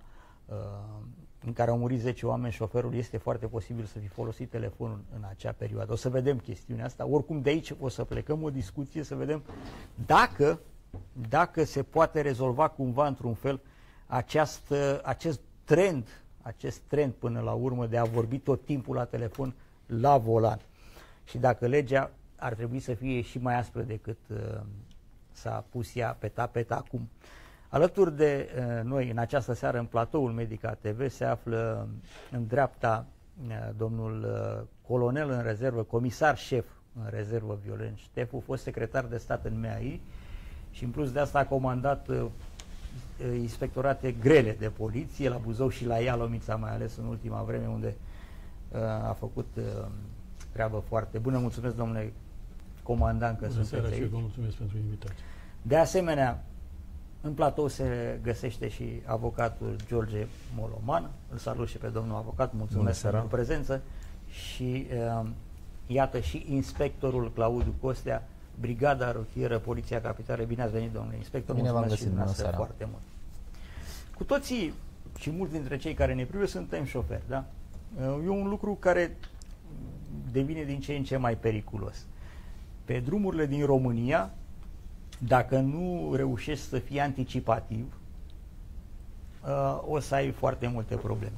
Haideți să pornim discuția noastră de la problema telefonului. S-a mai modificat legea, nu? Uh, o să vreau să vă rog pe dumneavoastră, domnule Costea, să ne prezentați ultimele modificări în acest sens, să vedem dacă ele ar fi trebuit să fie cumva altfel și aici fac apel la domnul colonel, un comisar șef, să vedem din experiența domniei sale și de șofer și de ofițer de poliție, dacă nu cumva trebuia mai mult decât atât. Și apoi și la domnul avocat, reprezentantul opiniei publice, dacă e bine Mă rog. spus și cred că e bine. Vedem cum stăm. Domnule inspector, vă ascult. Da, mulțumesc. Deci este vorba despre ordonanța Guvernului numărul 11 din uh, august 13, 13 august 2019, publicată în monitor oficial și care va avea apla- aplicabilitate în data de 12 octombrie. Deci, Deci de peste, sâmbătă, nu? peste câteva zile, sâmbătă mai Da, de exact, sâmbătă, ca să vor fi știm. aplicabile noile prevederi, uh, Ce zic prevederi prevederi? legislative. Prevederile uh, legislative, cele care au modificat ordonanța Guvernului 195 per 2002 privind circulația pe drumurile publice, uh, spun în felul următor. Uh, aș vrea să precizez un singur aspect. Uh, legea s-a năsprit. Legiuitorul no- nostru a considerat că aceste aspecte pe care le-a reglementat acum ar trebui să fie pedepsite mult mai aspru. Ce anume? Folosirea telefonului mobil uh, este interzisă pentru cei care conduc un autovehicul pe drumurile publice și nu numai folosirea uh, efectiv propriu-zisă, ținerea în mână, dar folosirea cu mâinile în orice mod, în timpul deplasării, este interzisă. Și bineînțeles că vorbim de, și am spus că sunt sancționate mult mai aspru, Quantumul amenzii s-a modificat. Deci dacă în prezent vorbim de două sau trei puncte de amendă, și anume 290 de lei, respectiv două puncte de penalizare aplicabile permisului de conducere, din data de 12 octombrie, uh, legiuitorul nostru a, uh, s-a gândit că uh, lucrurile trebuie să stea altfel și să năsprească aceste sancțiuni și uh, vo, polițistul rutier poate aplica o amendă de 6 sau 8 puncte, respectiv 4 de penalizare pentru permisul de conducere. Deci observați și dumneavoastră că s-a uh, majorat uh, Bun. cuantumul amenzii. Uh, Totodată, această variantă, aceste modificări se extind și asupra conducătorilor de vehicule. Și aici mă refer la cei care se deplasează pe o bicicletă, da? pentru care uh, nu este necesară deținerea permisului de conducere și ei pot fi sancționați dacă se deplasează pe drumurile publice și folosesc telefonul mobil în timpul conducerii. Trotinetă. Aici cu Că trotineta București e este, plin de trotinete. într-adevăr, este o discuție care în acest moment nu este uh, reglementată și care uh, Dar o, să fie trotinete? regl- o să fie reglementată Să în, vedem. în curând. Sperăm să fie reglementată vedem, cât sperăm. mai curând. Da, Da. Uh, și n-aș vrea să fac referire la, la acest aspect. Uh, Deci vorbim de cei care, pentru care nu este necesară deținerea permisului de conducere și o să mă refer în special la bicicliști, cei care folosesc telefonul în timpul deplasării pe drumurile publice pot fi sancționați cu o amendă de la 6 sau 8 puncte. Bun. Deci- Deci, deci un șofer, ca mine și ca rog. dumneavoastră, în spiritul noii legi și în litera ei, va fi pedepsit, ne-a spus cu cât, și dacă butonează telefonul, ca să vorbim mai pe Într-adevăr, stradă, să cel vorbim puțin în așa. concret, da. Da, adică el Dacă- poate să-l pună pe suportul Într-un de pe suport, bord, că se practică lucrul să aibă acesta. cască, wireless sau cu fir, nu contează, Da. deci să vorbească la hands-free Da. și dacă îl folosește butonând în sensul în care întinde mâna să formeze un număr, să răspundă, să nu știu ce Da, să da, facă, da, să citească o este pasibil notificare. de pedepsele astea. Da, da, da, poate fi sancționat, poate face obiectul sancționării. Ați precizat uh, foarte bine uh, și ați adus discuția în, uh, în zona asta. De, se practică lucrul acesta cu suportul unde uh, este poziționat telefonul mobil sau spune legea oricare dispozitiv mobil prevăzut cu funcția de înregistrare, o redare text, foto sau video. Deci aici poate intra și o tabletă în această Sau un categorie. laptop mai mic sau cine știe ce Exact, altceva. sau o cameră GoPro sau gadgeturile astea care Orice. au funcția de redare uh, text, foto sau video. Dar ne referim în special la telefonul mobil pentru că el va fi cel mai utilizat. Deci el este în suport, Legea spune că este interesă ținerea în mână, dar uh, aici nu mai este cazul pentru că el este în suport sau folosirea cu mâinile în orice mod. Și vă dați seama că de aici legiuitorul nostru deci, s-a gândit că orice okay. folosire și dacă cu mâinile... telefonul în mână și el nu este aprins, nu este, adică nu, nu se nu folosești. Îl ține în mână că nu știu, Noile reglementări nu se referă dacă telefonul este sau nu pornit. Nu spune. E vorba doar de ținerea efectivă în Dar mâna dacă acestuia. țin în mână de ce? Pentru că tre- și mă prinde gând... poliția, da. mă amendează. Într-adevăr. Chiar dacă nu vorbesc la telefon. Ce se sau întâmplă sau care a fost ideea sau rațiunea legiuitorului? S-a gândit faptul că ținerea în mână sau folosirea cu mâinile în orice mod, exact cum a exprimat în norma rutieră, distrage atenția sau atenția nu mai este focusată către activitatea Corect. de conducere propriu-zis, este, este focusată către acest dispozitiv. Da? Conducătorul auto uh, care ar trebui să fie atent la trafic și bineînțeles traficul uh, din București uh, te obligă, să spun așa, stringent, să fii foarte atent, să fii cu ochii în patru, Uh, în activitatea de conducere și dacă tu ești atent la acel dispozitiv și nu mai ești atent la trafic, bineînțeles că, Bun. cum a spus și dumneavoastră, poți risca să, in, să fii implicat în accidente rutiere. Domnule comisar șef, uh, șef spuneți-mi așa, ani și ani de zile am citit în calitate de jurnalist uh, ce transmiteau, ce transmite poliția în legătură cu diverse accidente, mai grave sau mai puțin. În multe dintre ele, în foarte multe, apărea, a pierdut controlul volanului și a intrat pe contrasens. O să vedeți că și acum sunt foarte multe. Nu mi se spune mai departe de ce a pierdut controlul volanului, da? Întrebarea mea este următoarea. Ca să pierzi, și suntem șoferi cu toții, ca să pierzi controlul volanului trebuie fie să ațipești, despre, a, și despre asta s-a vorbit în cazul da. uh, de la uh, ultima asta, nenorocirea groasnică, da? Holomiț. Da. Uh, și uh, nu știm dacă lucrurile, expertiza nu ne-a explicat dacă sau nu ne explică încă acum ancheta dacă s-a, din cauza asta a țipit omul la volan sau nu, șoferul respectiv, cel care intra pe contrasens cel cu tirul.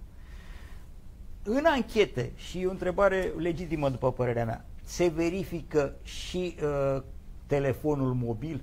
Uh, adică e de văzut dacă la un moment dat omul ăla înainte să... Ăsta n-aș să ne mai spună că a murit am murit amândoi săraci, dar asta este. Uh, să fiu, se uită poliția uh, să vadă dacă omul ăla a folosit telefonul înainte de producerea accidentului? E obligatoriu. Uh, în cadrul da? cercetării la fața locului se verifică toate variantele de lucru pentru a se stabili care a fost mecanismul producerii accidentului. Acum, referitor la acest accident groaznic din Ialomița, cunosc județul pentru că am fost păi șapte ani de zile acolo. Uh, și m-am documentat, m-am interesat locul, un da. pic. Da. Cer, cunosc foarte bine și locul. Uh, cercetările nu sunt finalizate și încă nu s-a stabilit cauza exactă a producerii accidentului. Dar uh, este clar că acest conducător auto uh, nu a respectat uh, timpii de uh, repaus, pentru că el, uh, din datele pe care le am eu, a condus de seara da? până spre 5 dimineața, când s-a oprit uh, la Popasul Maru, unde a luat o cafea, deci așa și după... A luat o cafea pentru că era obosit, că n-ai de ce să bei o cafea. Ca să conduci toată noaptea de seara până da. dimineața este e, imposibil, e da? mai ales că, uh, după câte știu, avea și niște afecțiuni medicale. Este, la un moment dat, uh, după o noapte de condus, când omul ar trebui să doarmă, să se odihnească, ești obosit. La ora, în general, la ora 5-6 dimineața uh, te ajunge oboseala. Și uh, vă dați seama, uh, a luat cafeaua, probabil a băut cafeaua, n-am toate datele astea, și a mai mers foarte puțin un drum foarte scurt până s-a întâmplat accidentul. Cum explicați cu experiența dumneavoastră de Păi, uh, s-a vorbit despre ațipire la volan. Uh, și aici este o întrebare, dar uh, în urma expertizii medico-legale se va stabili cu certitudine care a fost cauza uh, și coroborată cu celelalte date din anchetă, pentru că uh, nu știu dacă avea timpul necesar ca să ațipească la volan uh, de unde a băut cafeaua până uh, s-a întâmplat accidentul. Sunt și alte explicații, dar numai ancheta okay. le poate stabili, având în vedere că uh, am înțeles că avea niște probleme de sănătate. E posibil e orice. Posibil. Poate să faci uh, și spuneați adineauri de uh, pierderea controlului la controlului volanului. Sunt uh, aceasta cu folosirea telefonului sau alte dispozitive uh, este o cauză recentă sau aproape păi recentă. Păi asta este o discuție, că am senzația și am și informații în acest sens, că foarte multe, în ultima vreme, deci de când uh, oamenii au descoperit sau Smartphone-urile, de când au și descoperit asta, și smartphone-urile. mai ales niște aplicații de comunicare uh, și niște rețele pe care se pot face live-uri și am văzut o mulțime de cazuri. în Și care aici oamenii- ați Da? văzut că a fost cauza celor mai grave accidente de Exact. circulație. Păi când da. oamenii care nu conștientizează pericolul, unii oameni, nu toți, nu conștienti- conștientizează pericolul folosirii acestor dispozitive, se filmează, pun live pe uh, Facebook sau pe alte aplicații, uh, normal că este imposibil să fii atent la drum. Corect. Și uh, imediat uh, accidentul este ca și, ca și făcut. Înainte, când erau telefoanele clasice și se vorbea numai la telefon, uh, cred că s-au înregistrat mai puține accidente din această cauză. Bun. Acum trebuie să vă spun, dacă îmi permiteți, uh, această situație este uh, reglementată și uh, s-au introdus restricții în legislație în toate țările Uniunii Europene, nu numai în România. Eu știu că Nu am fi sunt și noi pionieri, discuții, da. sunt și discuții, uh, cetățe- unii cetățeni uh, nu privesc cu ochi buni această restricție. Eu cred că era obligatorie pentru a uh, stopa cumva Dar e uh, completă?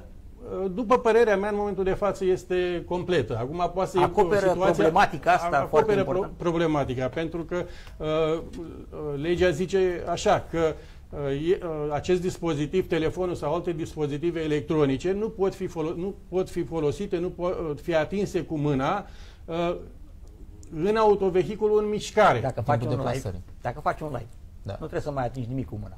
Îi dai drumul și îl lași așa, da? Da. Și faci live-ul ăla.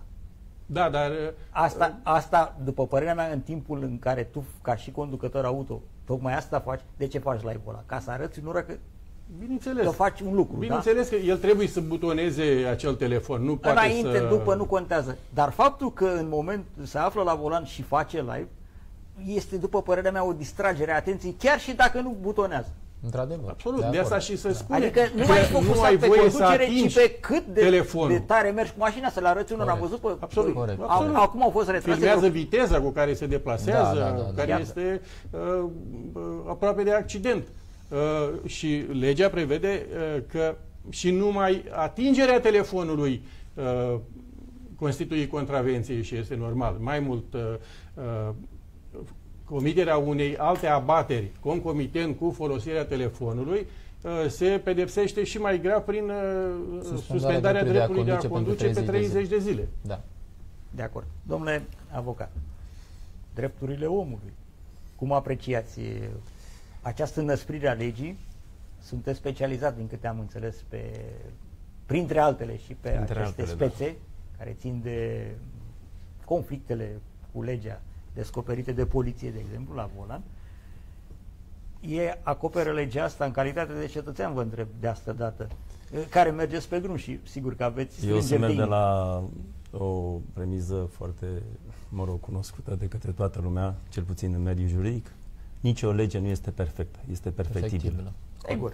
Așa De că acord. și din această perspectivă nu este o lege perfectă. Sunt convins de asta. Chiar acum ați ridicat dumneavoastră mingea la fileu către domnul inspector dacă îți faci un live, dai drumul la telefon înainte de a conduce și totuși live-ul merge și tu nu mai pui mâna pe telefon, nu butonezi, deci nu Nu încalci. intri sub incidența legii. Exact. Și Da. totuși ești, e, e, ți se distrage atenția. Că de-aia faci Posibil. mai- Atenție, acum cum Posibil, distrage corect. atenție, poate să-ți distragă atenția și, nu știu, O o, fată statuie, frumoasă, o fată da. frumoasă, mă Care rog, nu o altă interzisă mașină mai mașină, frumoasă da. și așa mai departe, sau un incident în trafic. Deci nu aici e problema. Problema se pune în felul următor, așa cum a început și discuția, era o necesitate cu privire la modificarea OG 195 pe 2002. Toți suntem șoferi și am observat în ultimii ani majoritatea oamenilor nu numai că vorbesc la telefon, dar cel mai grav, cel mai grav, dau Tastează. text, tastează, Tastează și mesaje, da. dau Da. mesaje pe WhatsApp, pe Facebook, pe Messenger, SMS și așa mai departe. Aici e cel mai grav și atunci di- se distrage atenție, atenția cel mai mult. Este evident că în momentul ăla Vedeți? riști să produci un accident. A spus de accidentul de la Ialumița, într-adevăr, groaznic. Dar nu uitați de accidentul muncitorilor care se întorceau în România pe Sigur. ruta uh, din Ungaria, Ah, când da. efectiv, în direct, live, Live, s-a da. văzut cum au intrat într-o, Vedeți? într-un tir. Și s-a stins uh, Deci, efectiv, filmul, da? s-a stins uh, filmarea Iar viețile ulterior oamenilor. am văzut niște imagini șocante să văd oameni efectiv sfârtecați. Da. Deci impactul a fost extraordinar de mare. Gândiți-vă că erau treji, gândiți-vă că erau șapte oameni în mașină și totuși acel accident s-a uh, produs. Produs. Din cauza, bineînțeles, unui smartphone pentru un uh, live. Da. Uh, din punctul... Pe care legea nu-l poate împiedica nici acum. Uh, Nu e depistabil și E- nu e sub incidența ei. Da? Mă rog, era cu telefonul în mână, deci intră în momentul de față, Omul ăsta intră era sub cu telefonul. incidența... Dacă l-ai pus uh, în suport, suport, și faci da. live, uh, îmi pare rău că n-am reușit să am, am doar linkul, s-a scos de pe YouTube, am văzut un filmuleț într-un, într-un județ din această țară pus de autorii lui și nu știu cine s-a prins ori YouTube-ul, ori autorii i-or fi depistat poliția și asta e altă discuție, că după părerea mea poliția română ar trebui să aibă un departament special de identificare a acestor filmulețe pe care unii le pun acolo mai mult sau mai puțin conștient. Că, că unu, ele n-ar trebui să mai ajungă acolo filmulețele astea și că doi, instigă sau uh, creează tot felul de uh, situații uh, de tipul acesta, da? Uh, și în aceste condiții, cred că mai trebuie lucrat pe lege. Domnule Ștefan, ce Eu părere aveți? uh, pot să spun, că, cum a spus și domnul avocat, uh, nicio lege nu este perfectă, ci este perfectibilă. Uh, În alte state, într-adevăr, condițiile sunt mai uh, dure, în alte uh, state sunt mai puțin dure. De exemplu, Dumneavoastră ce părere în Franța aveți? Mai dure? uh, Trebuie. nu ai voie să butonezi telefonul nici măcar cu mașina oprită, uh, decât într-o parcare amenajată. Ia uitați, Sau nu ai francezi. voie să stai cu căștile în urechi, tot în Franța, e cam aceeași chestie. Păi foarte important. Și cu căștile în urechi. Da. Ce înseamnă? În România, uit, uitați foarte, foarte corect observație. Ți-ai pus căștile, da? Păi nu mai auzi e, multe Exact. lucruri din jurul tău, Sigur. da? Vorbești la telefon. Că vorbești, nu spune nimeni să nu vorbești, spune să nu butonezi. Păi vorbi tu, concentratul, primirea unei vești proaste sau din potriva unei foarte bune, nu contează. Dar o sureșitare de tipul ăsta într-o fracțiune de secundă te-a scos din filmul pe Bineînțeles. care trebuie să-l urmărești cadru cu cadru și ești într-o altă lume pentru o fracțiune de secundă și ai pierdut Mai ce? ales că controlul volanului. uh, în momentul de față se practică viteze foarte mari, deci uh, la o, uh, o viteză foarte mare de 100 de km la oră este uh, uh, orice mișcare greșită la volan uh, duce la un accident. Da, și Pierderea distanța de controlului frânare volanului. se crește, Exact. crește Intrarea distanța pe de frânare. contrasens. Exact. Moarte Intrarea pe instantanee. contrasens. Accident Deci, frontal, ia lomiță. Da. Da, cred că totuși exagerăm un pic, pentru că gândiți-vă la un aspect. Ai pe cineva în mașină și te poate ține de vorba, acea persoană, îți distrage atenția. Ce facem?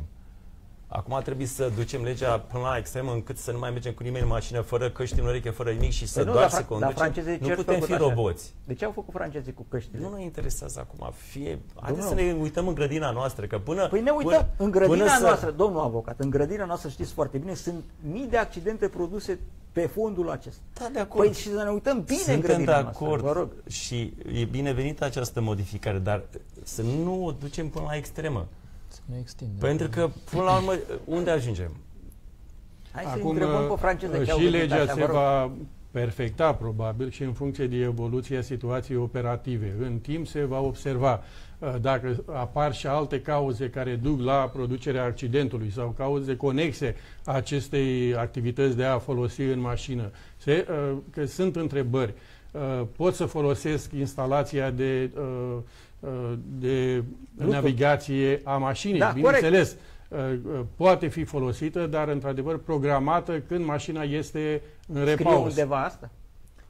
Nu, Păi legea dar- nu scrie, evident, nu, s-a omis și dar acest nu, lucru. Adică, nu. mă rog. Aici nu poți să-i explici în Legiuitorul lege. nu a vrut să, nu știu, uh, sau nu, nu nu, poți a să-i explici prevăzut în lege. uh, și nu a definit până la urmă ce, ce intră în categoria acelor dispozitive mobile prevăzute cu funcția de Păi realizare și- Asta de și nu- în oră. regulamentul, Spune. Păi probabil. și nu trebuie să facem Așteptăm asta? regulamentul, Legea probabil, spune, da. dacă îmi De permiteți, aplicare. că Da, în domnul mișcare, deci folosește termenul în mișcare. În mișcare, și da. atunci Contravenția uh, este o- se este o înțelege contravenție că mașina dinamică, trebuie da, să- deci dacă se butonezi săvârșește în telefonul, mișcare. să ții telefonul în mână, în mișcare, atunci când este oprită, uh, atunci se, Într-adevăr. pot, se poate programa instalația, se poate programa telefonul pe navigație care stă pe suport fix.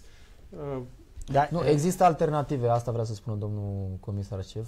Există alternative pentru Nu știu a ce- folosi telefonul mobil și a fi exonerat, să zic așa, sau nu a intra în, uh, nu a face obiectul sancționării. Dar nu trebuie să ne gândim, aș vrea să fac eu o precizare, să ne gândim la sancțiune. Trebuie să ne gândim la siguranța noastră, Exact. că eu zic că e prioritară.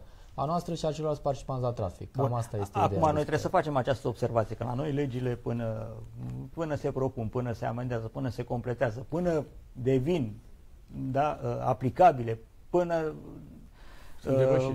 se publică normele, regulamentele și așa mai departe, da. durează, că mă rog. De ce? Din rațiuni electorale, probabil pentru unii dintre oameni care spun, "Bă, de ce să-mi pun eu pe șoferi în cap și să înăspresc legile, că nu mai votează nici naiba. Și cam aici suntem cu discuția.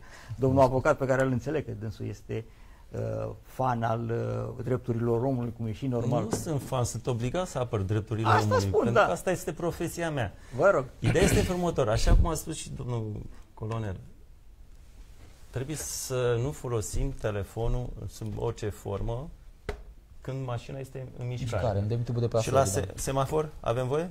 La semafor avem voie, dar acum probabil Atențiune. că spuneți, Deci la semafor avem voie. Prost. spuneți că am ajuns, am ajuns Aici cumva este în problema, mișcare. pentru că de-aia E v-am o- spus că legea e nu o este discuție perfectă, o să amplă. fie Este, da. o problemă cu aplicarea amenzilor. Pentru Da. că o să zică Constatarea șoferul, lor. exact, cu- constatarea și aplicarea, o să zică șoferul, stai domne, că nu eram în mișcare, eram la s- semafor. Și o să vedeți la semafor toată lumea, se pune verde și se, o găsi unul care nu are telefon să Acum- claseze pe Așa e, toată domnul? lumea. A- Așa e? Așa Păi se trebuie trafică. Și o să vedeți, o să vedeți cum uh, la semafor cel puțin 10 mașini pornesc mai greu. Dacă înainte ne grăbeam, acum nu o să ne mai Pornesc grăbim la mai greu, semafor. dar Să vedeți ce că, stați așa că mai am să dau un în like. timp ce butonezi, în timp ce butonezi, uh, trebuie să te deplasezi, deci pui mi- uh, în mișcare autovehiculul.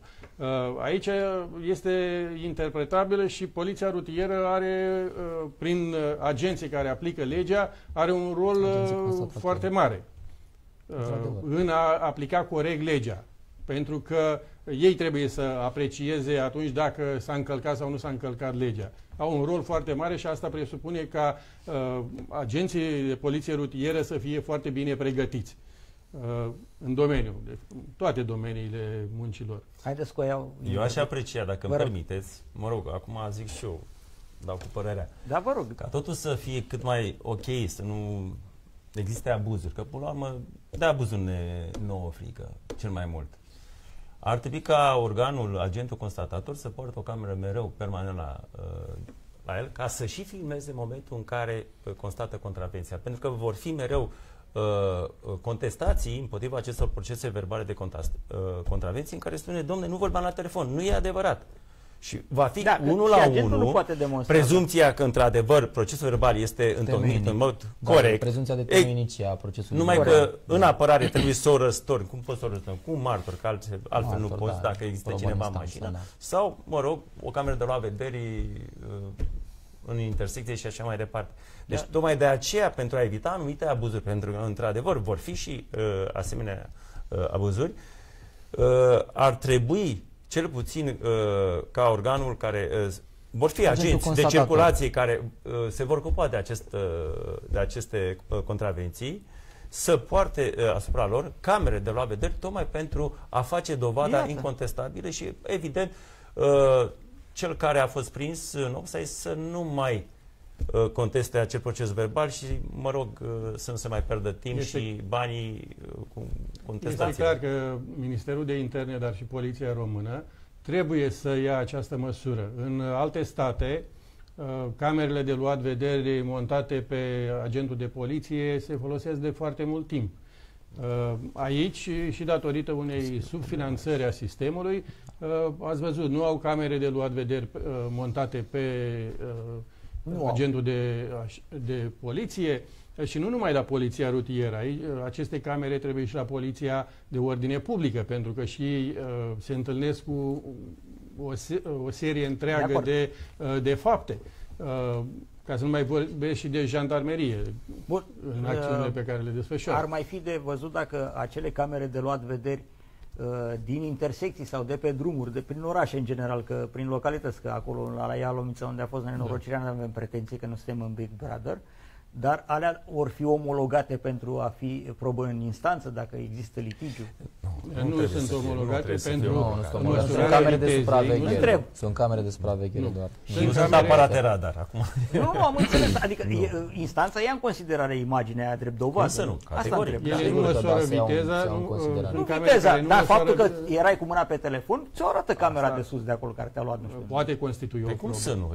Poate constitui orice probă este admisibil. Este. E în regulă dacă e așa. Păi și atunci asta ar mai fi. cercetării la fața locului trebuie și investigațiilor care se desfășoară, trebuie uh, urmărite toate aceste aspecte și trebuie identificate da. toate Tot la uh, mijloacele de probă. Revin, domnule uh, colonel, spuneți-mi și mie, vă rog frumos, unde ați mai umblat pe ce ați văzut pe legea asta? Că mai trebuie cizelată. Uh, Interlocutorii noștri au spus asta până Este aici un mod de interpretare unde am și discutat Uh, la semafor și aici ridică multe probleme pentru că și cetățenii, uh, ceilalți participanți la trafic au ridicat această, această problemă, uh, domne, stau la semafor, de asta și se creează unele buteiaje la, la semafor pentru că foarte mult stau pe telefon și nu mai pornesc să, și nu înaintează și lasă distanțe foarte mari. Aici ar trebui poate să se precizeze mai în detaliu uh, acțiunea legii. Uh, Bun, întrebare. Credeți că la Elumița și revin ar fi, ar fi putut să se întâmple tragedia aia nenorocită și dacă omul ăsta ar fi folosit telefonul? Excludeți această... Nu exclud. Că eu, că nu, eu nu exclud deloc nu, și informațiile... Nu, nu se poate exclude nimic. S-a vehiculat uh, adormirea la volan. Da. Când am aflat că uh, distanța de la locul unde a consumat cafeaua până la comiterea faptei este destul, 2-3 km, nu știu dacă sunt 2-3 km, uh, mi-e greu să cred că s-a produs o adormire la volan Iată, acolo, da?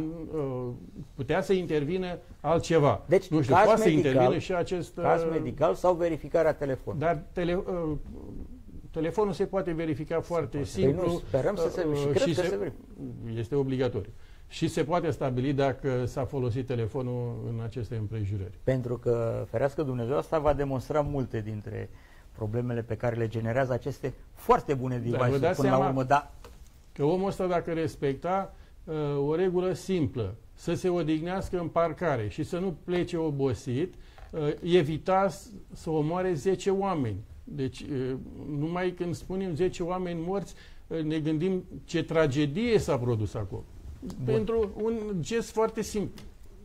Uh, o să încercăm, uh, dragi telespectatori, la un moment dat să intrăm în legătură telefonică directă și cu cunoscutul pilot de curse român uh, Titi Aur. Domnia sa uh, are în proprietate, patronează și o școală uh, care um, te învață să conduci defensiv. E un concept uh, foarte interesant și mult uh, accesat în uh, lumea civilizată.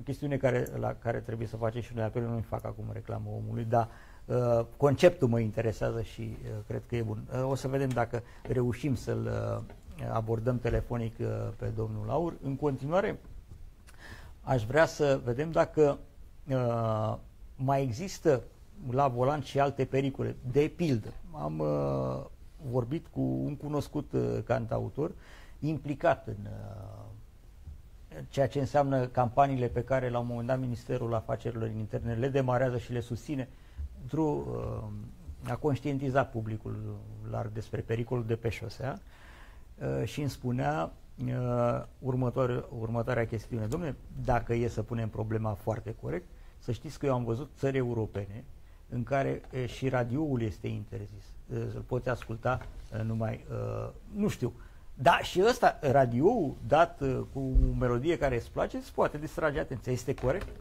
Se poate mm, să distragă atenția și radioul.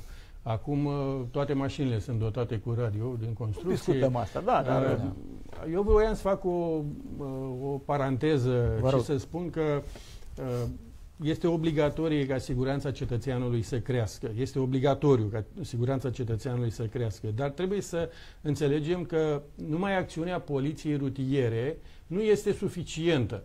Mai, uh, ca să fac o altă paranteză, aș vrea ca poliția rutieră să acționeze proactiv, nu reactiv. Da. Pentru că, uh, vezi, s-a întâmplat un accident. Cum este accidentul ăsta? Și trei zile facem controle, tocăm uh, conducătorii de tir. Uh, dar după trei zile se uită, vin alte activități, trecem la activități și mai facem când se comite o altă, uh, un alt accident. După părerea mea, activitatea trebuie să fie proactivă, permanentă și continuă, cu acțiuni în special preventive. Bun. Și oamenii trebuie să înțeleagă că polițiștii rutieri care sunt în stradă nu sunt pentru a-i vâna uh, și a le da amenzi. Deci oamenii trebuie să înțeleagă polițiștii care sunt acolo sunt pentru a-i ajuta, Marea pentru a-i preveni. Marea majoritate. Marea majoritate. Bineînțeles că și agenții de poliție rutiere trebuie să acționeze în acest spirit, pentru că uh, uh, omul trebuie să simtă că ei sunt acolo nu pentru a-i vâna și trebuie demolat acest mit că de poliția acord. rutieră vânează iar uh, primii care trebuie să facă această demonstrație practic. sunt chiar polițiștii din stradă. Da? Exact. Care să inspire autoritate și încredere oameni. Și nu că uh, acest conducător auto zice, bă, mai luat dintr-un șir întreg, te-ai pus pe mine, mă, și mai luat din șirul ăsta. Dar da, pe lângă da, acțiunea bun. poliției rutiere, uh, cum vă spuneam, uh, trebuie să acționăm și asupra noastră, a fiecărui cetățean. Deci de și, uh, și noi ca participanți la trafic, ca, uh, în calitate de conducători auto, trebuie să uh, acționăm într-un anumit fel. Revenim asupra preventiv idei, și defensiv. Domnule comisar șef, pentru că la telefon este, așa cum uh, vă spuneam, domnul Titi Aur, pilot de curse. Bună seara, domnule Aur! Bună seara! Mulțumesc foarte mult că sunteți alături de noi. Am luat în dezbatere mm, subiectul ce ține de modificarea legii începând de sâmbătă și introducerea unor uh, reglementări uh, ceva mai uh, dure și pedepse ceva mai dure pentru vorbitul la telefon sau folosirea altor device-uri, butonarea lor și așa mai departe. Cum vedeți dumneavoastră în calitate de profesionist al volanului aceste noi reglementări și dacă ele ar mai trebui cumva completate, revizuite, cizelate, etc. Vă ascult. Păi eu văd așa. în primul rând, așa cum spuneți noastră, în calitate de profesionist al volanului, sună interesant. Probabil sunt unul din cei care stăpânesc mașina un pic mai bine ca alții, având experiența de la curse da? sau mergând tare cu mașina. Dar mai mult aș merge pe zona de experiență pe care o am în formarea profesională și în uh, cursurile de conducere defensivă pe care le fac alături de colegii mei. Și pot să vă spun așa, faptul că se aspresc puțin amenziile sau sancțiunile pentru utilizarea telefonului mobil este de bine, pentru că cel de la volan, românul în general, face multe lucruri sau nu face anumite lucruri de frică. Să nu mă prindă polițistul, să nu-mi dea amendă. Dar oricât de mult am mărit sancțiunile, oricât de mulți polițiști am pune dacă punem din 10 în 10 metri polițiști, oricât de multe lucruri am face, dacă omul nu conștientizează că îi face rău acel lucru sau poate să-i facă rău acel lucru, adică să folosească telefonul, să nu poarte centura, să facă, să meargă cu viteză, să meargă sub influența alcoolului și așa mai departe. Dacă nu conștientizează, efectul anumitor legi, reguli, restricții, sancțiuni, foarte mic. Și vă dau doar un exemplu. Când vedem și vedem foarte des, din păcate, mergând prin oraș, părinții în față legați în centură și copiii în spate liberi. Și îmi pun întrebarea, și vă pun întrebarea, de ce se întâmplă asta? Credeți că părinții nu țin la copiilor? Credeți că părinții țin mai mult la viața lor decât la viața copiilor? Nu, părinții nu conștientizează pericolul și își pun centura doar de frica polițistului să nu, ia, să nu primească amendă sau să nu-și se ia permisul și așa mai departe. Dacă trec prin anumite forme de pregătire, dacă se fac anumite campanii, dacă se transmit mesajele corect și părinții vor conștientiza că este foarte util ca al lor copil să fie legat în centură, nu mai avem nevoie de polițistul care să-l prindă și să-i dea amendă sau să-i, pentru că el conștientizează.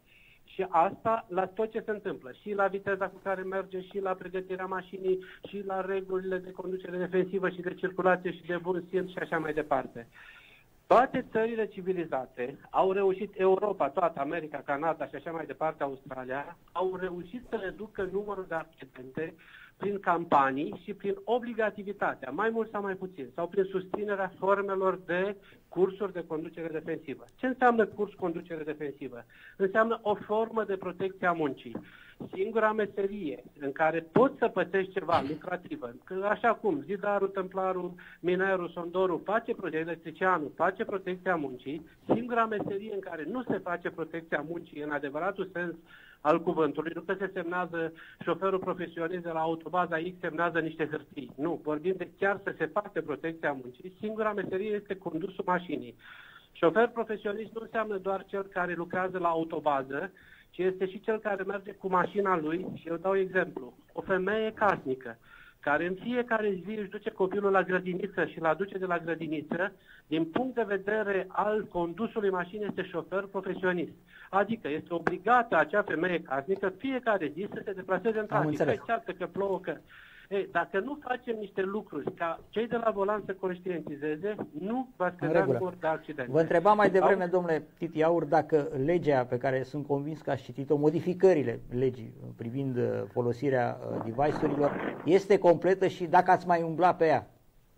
Uh, niciodată nu este completă pentru Bun. că și tehnica avansează, dar este bună într-adevăr este o măsură pentru a trage, a trage acel semnal de, de alarmă și a speria, să zicem, șoferul de eventuală sancțiune și atunci probabilitatea de utilizare a telefonului mobil care a devenit cauză principală a accidentelor de circulație, deși nu apare în statistici așa. Bun, explicați vă rog, o, sunt... o secundă e foarte important ce ne spuneți, că ați punctat foarte bine după părerea mea. N-apar în statistici, dar sunt cauzele multor accidente. Nu Să apare statistici... ideea asta. Cum ați constatat asta? Păi e foarte simplu. După ce se întâmplă un accident, polițistul sau procurorul, dacă a fost uh, cu victime și cu morți și cu răniți grav, trebuie să constate, să facă constatarea în anumite limite permise de lege. Dacă cel de la volan se uita în telefon și pierde controlul și sare în râpă și moare sau omoară pe cineva sau intră pe contrasens, nu există, sancțiune, nu există articolul uh, de a folosi telefonul civic. demonstra. Este pierderea controlului direcție. Sau, uh, a, da, și, atunci, și atunci, în statisticile oficiale, nu apare folosirea sau utilizarea telefonului mobil. Exact, dar... asta este esența întregii emisiuni. Practic, vrem să spunem că odată cu mulțirea acestor telefoane, da. În statistici nu apar, dar multe cauze, exact cum spune, sunt produse de aceste telefoane folosite, dar care nu sunt uh, prinse în statistici ca să ne dăm seama de pericol statistic vorbind, da? Ar trebui să facem de fapt, de fapt niște cercetări aproape psihologice. Și vă dau un exemplu. Rog. O doamnă de la o anumită companie care a fost retrimisă la noi că a făcut un accident, făcuse curs de conducere de pensie, dar totuși a făcut un mic accident. Viraj de dreapta, a mers înainte, a ieșit în decor, nu s-a întâmplat mare lucru și a susținut în fața colegilor sau când a dat declarația pentru că era accident de muncă, era cu mașina de serviciu, că a adormit la volan. Uh, a atipit la volan. La ora 10 dimineață, un om care lucrează în permanență la schimb 1, foarte puțin probabil să, să atipească la volan. Din discuțiile și din pus problema în diferite feluri, S-a a spus, da, de fapt eram uh, atentă la telefon, că de fapt trebuia mesajul care a venit, că era de serviciu, că nu era de serviciu, dar statistica poliției la acel accident minor nu s-a întâmplat nimic, un pic atinsă mașina, ca norocul că nu venea nimeni în față și așa mai departe. Dar statistica acolo a pierdut controlul volanului, eventual a țipit la volan sau a fost obosit. Exact de fapt, în spate da. era telefonul mobil. Iată. Și sunt foarte multe astfel de situații. Da. Foarte bine punctat. Uh, asta încercam să explic și eu la începutul emisiunii. Dumneavoastră ați fost uh, și mai elocvent uh, că nu degeaba sunteți profesionist al Și deci, și deci, și deci acum ar trebui cumva ca în statistici din acest moment poliția română să treacă mai uh, scrupulos cauza pierderii controlului volanului, astfel încât da, dar și va prin fi greu asta de... să conștientizăm că uite ce pericol reprezintă, uite statistica. Deci, unu, când cei din mașină au murit, nu mai ai cum să demonstrezi. Asta când da. cei din mașină n-au murit și uh, sunt relativ întregi, nu vor recunoaște. Vor spune orice altceva vor spune că a fost ghinionul, că a fost aderența, că i-a surprins pisica care a trecut strada. Nu vor recunoaște. Pentru că, pe de o parte, legal vor fi inculpați mai tare. Le va fi rușine față de familie, față de colegi de serviciu, că în loc să-și vadă de condus, au produs acel eveniment și în principiu li s-a spus, poate, de soție, de copii, de mamă, de tată, de șeful, de unul, de altul, nu mai folosi telefonul la volan. Și atunci nu va recunoaște, va spune că altfel, va fi altfel de ghinion a fost altfel de ghinioane. Repet, singura formulă cu adevărat eficientă pentru a ajunge la reducerea numărului de accidente, din păcate nu la anulare, dar a reduce foarte mult numărul de accidente, este ca cei de la volan să fie conștientizați că li se pot întâmpla lucruri rele. Mulțumesc foarte mult. Dacă, că, ok. Mulțumesc foarte mult pentru aceste precizări. Nici că se putea mai bine. Ne-a explicat și cum e cu statistica exact și încercam eu să transmit aici în primele momente ale emisiunii și ne-a și demonstrat, da? Ne-a și explicat domnul Titiaur că unii nu recunosc din motive obiective, da, de rușine, de faptul că și-ar agrava uh, pedeapsa și așa mai departe. Bun, deci dacă plecăm de la ceea ce ne spune domnul Aur, am ajuns la ce uh, vreau să discutăm în emisiune și anume faptul că aceste lucruri foarte bune sunt atât de periculoase și că încă nu conștientizăm pericolul. A venit legea, foarte bună probabil până la un punct, dar trebuie să mai lucrăm undeva. Începem la cu educație. Conștientizarea uh, cetățenilor. Și asta voiam să spun uh, și eu m-am gândit la niște măsuri. De exemplu, uh, tinerii uh, termină 18 ani, după aceea uh, au, împlinesc 18 ani, după aceea și-a permis de conducere. Uh, educația rutieră, în, în familie nu mai vorbesc că nu cred că se face, uh, și în școală educația rutieră este zero. De aceea eu văd că în ultimul an de liceu, cel puțin, ar trebui uh, să se facă un curs de educație rutieră, de siguranță rutieră, curs poate susținut uh, în cooperare cu reprezentanții poliției, cu teme uh, atât de legislație, dar și teme practice prin care se prezintă uh, accidente de circulație, cauzele Corect. accidentelor de circulație, uh, filme cu privire la uh, modul cum s-au petrecut anumite accidente de circulație, pentru ca uh, tânărul să împlinească 18 ani și să aibă o bază uh, a, uh, de pregătire în domeniul rutier și să conștienti, poate conștienti, conștientizează mai mult, mult pericolul pe care îl Uh, generează uh, încălcarea regulilor de circulație. Eu aș avea o propunere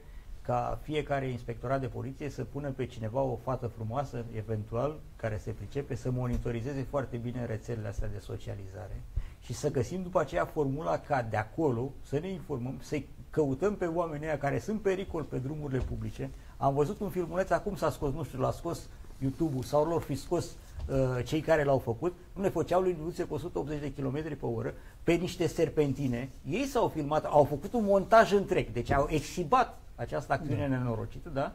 liniuțe, un Audi și un BMW negru, da? Și a stat acolo pe YouTube și a făcut sute de mii de accesări. Oamenii au fost un pericol public în momentul ăla și probabil în continuare reprezintă că o să mai facă și altă dată. Cineva dacă vedea lucrul ăsta, să poată să găsească varianta să-i oprească legal, nu? Se poate? Absolut. Drepturile Sigur. omului, domnul. Da, să așa este. Dreptul. Are dreptul. Drepturile omului, dar exact aceste drepturi ale omului încalcă drepturile celorlalți participanți pe la premiza, trafic. Uh, e justificat să se Pe intervine. care a mers domnul colonel, așa nume, să se dea în școli, mă rog, o educație la, nu știu, circulația pe drumurile publice, dar aici ar trebui să facem o diferențiere. Ne referim uh, la copii din școli care nu au permis de conducere și ar trebui să, mă rog, să le dăm o educație cu privire la cum să traverseze strada. Sigur. În principal. Pentru că și asta este o cauză. Este chiar principala cauză dacă, generatoare de accidente. Bun.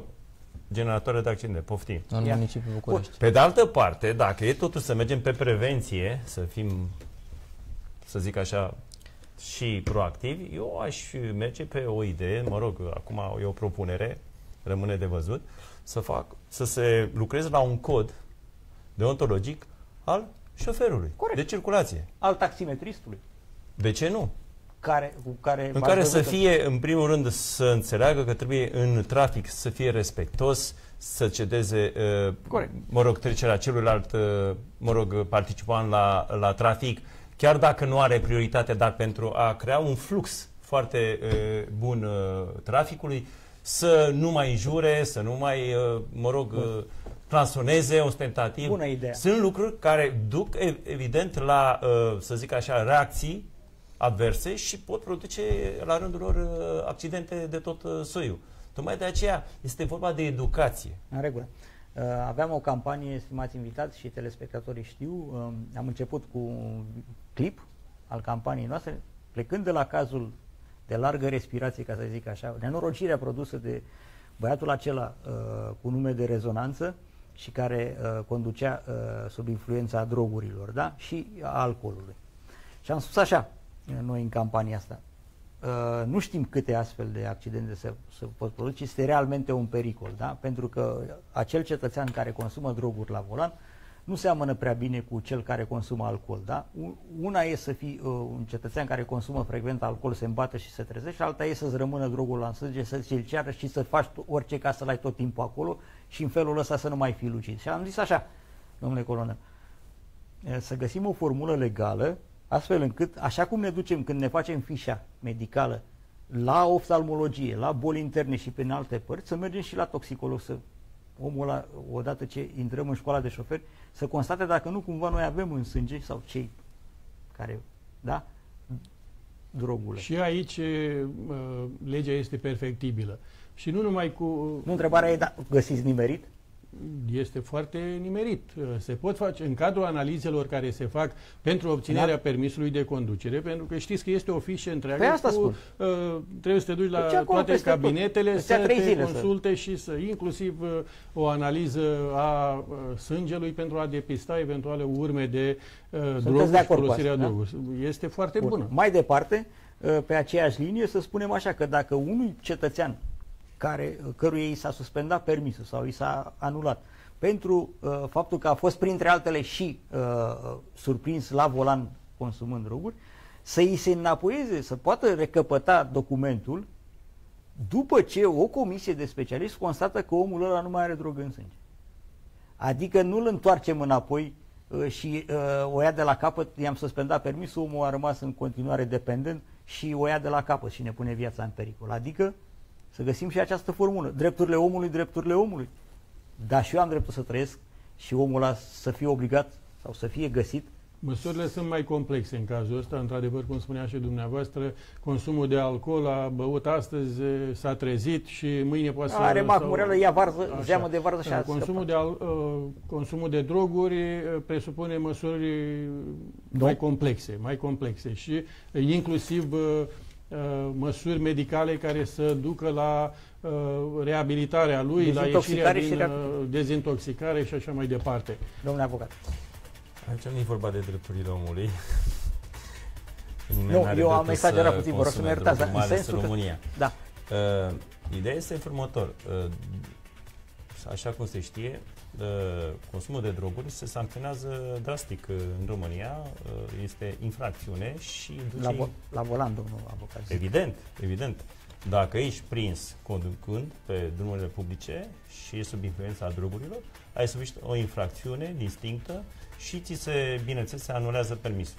Ai ajuns la volan. Noi spuneam că ar fi bine să n-ajungi Eu am înțeles ce a spus noastră, da. dar vreau să scot în evidență un aspect consumi alcool și dacă te oprește poliția și ai sub 0,4 la mie, nu este infracțiune, este contravenție. Așa. Pe când la droguri nu contează ce cantitate de drog ai în corp. Important este să ai cea mai mică urmă de drog în corp da. și atunci este infracțiune. Asta vreau să spun că se pedepsește mai drastic, adică legiuitorul nu a fixat o anumită cantitate în sânge de drog. La ce a spus dumneavoastră, într-adevăr, se impune, într-adevăr, modificarea legii cu privire la cei care vor să, uh, să obțină permisul de conducere prin efectuarea unei analize toxicologice în, uh, în plus pentru a vedea dacă, într-adevăr, uh, este consumator de drog. Așa cum se știe, drogul în timp dispare din organism dacă nu mai consum. Dar în timp. Dar, în timp. Da, da, da, în timp. Depinde de Problema drog. este cât de mult ți-a afectat simțurile. Sigur. Că și dacă asta. te droghezi trei ani de zile și pe urmă nu te mai droghezi, ceea ce este puțin probabil, dar să presupune că ajungi să nu te mai droghezi simțurile tale vor mai fi același Iată. ca un om normal. Deci cu atât Aici mai mult, problema cu atât mai, mai mult se, se impune o vizită medicală aprofundată Deci pentru oamenii. problema pe care ați ridicat-o dumneavoastră este foarte interesantă și trebuie luată în Mulțumesc în foarte calcul. mult. Așa și încheiem această emisiune. Mulțumesc invitațiilor mei din această seară și, evident, dumneavoastră, stimați telespectatori, că ați fost alături de noi două ore la Medica Special. Ne oprim aici în această seară. Mâine seară, tot de la ora 19, tot Medica Special, dar cu uh, Ioana Răduca. Mulțumesc foarte mult. Ne vedem curând. La revedere!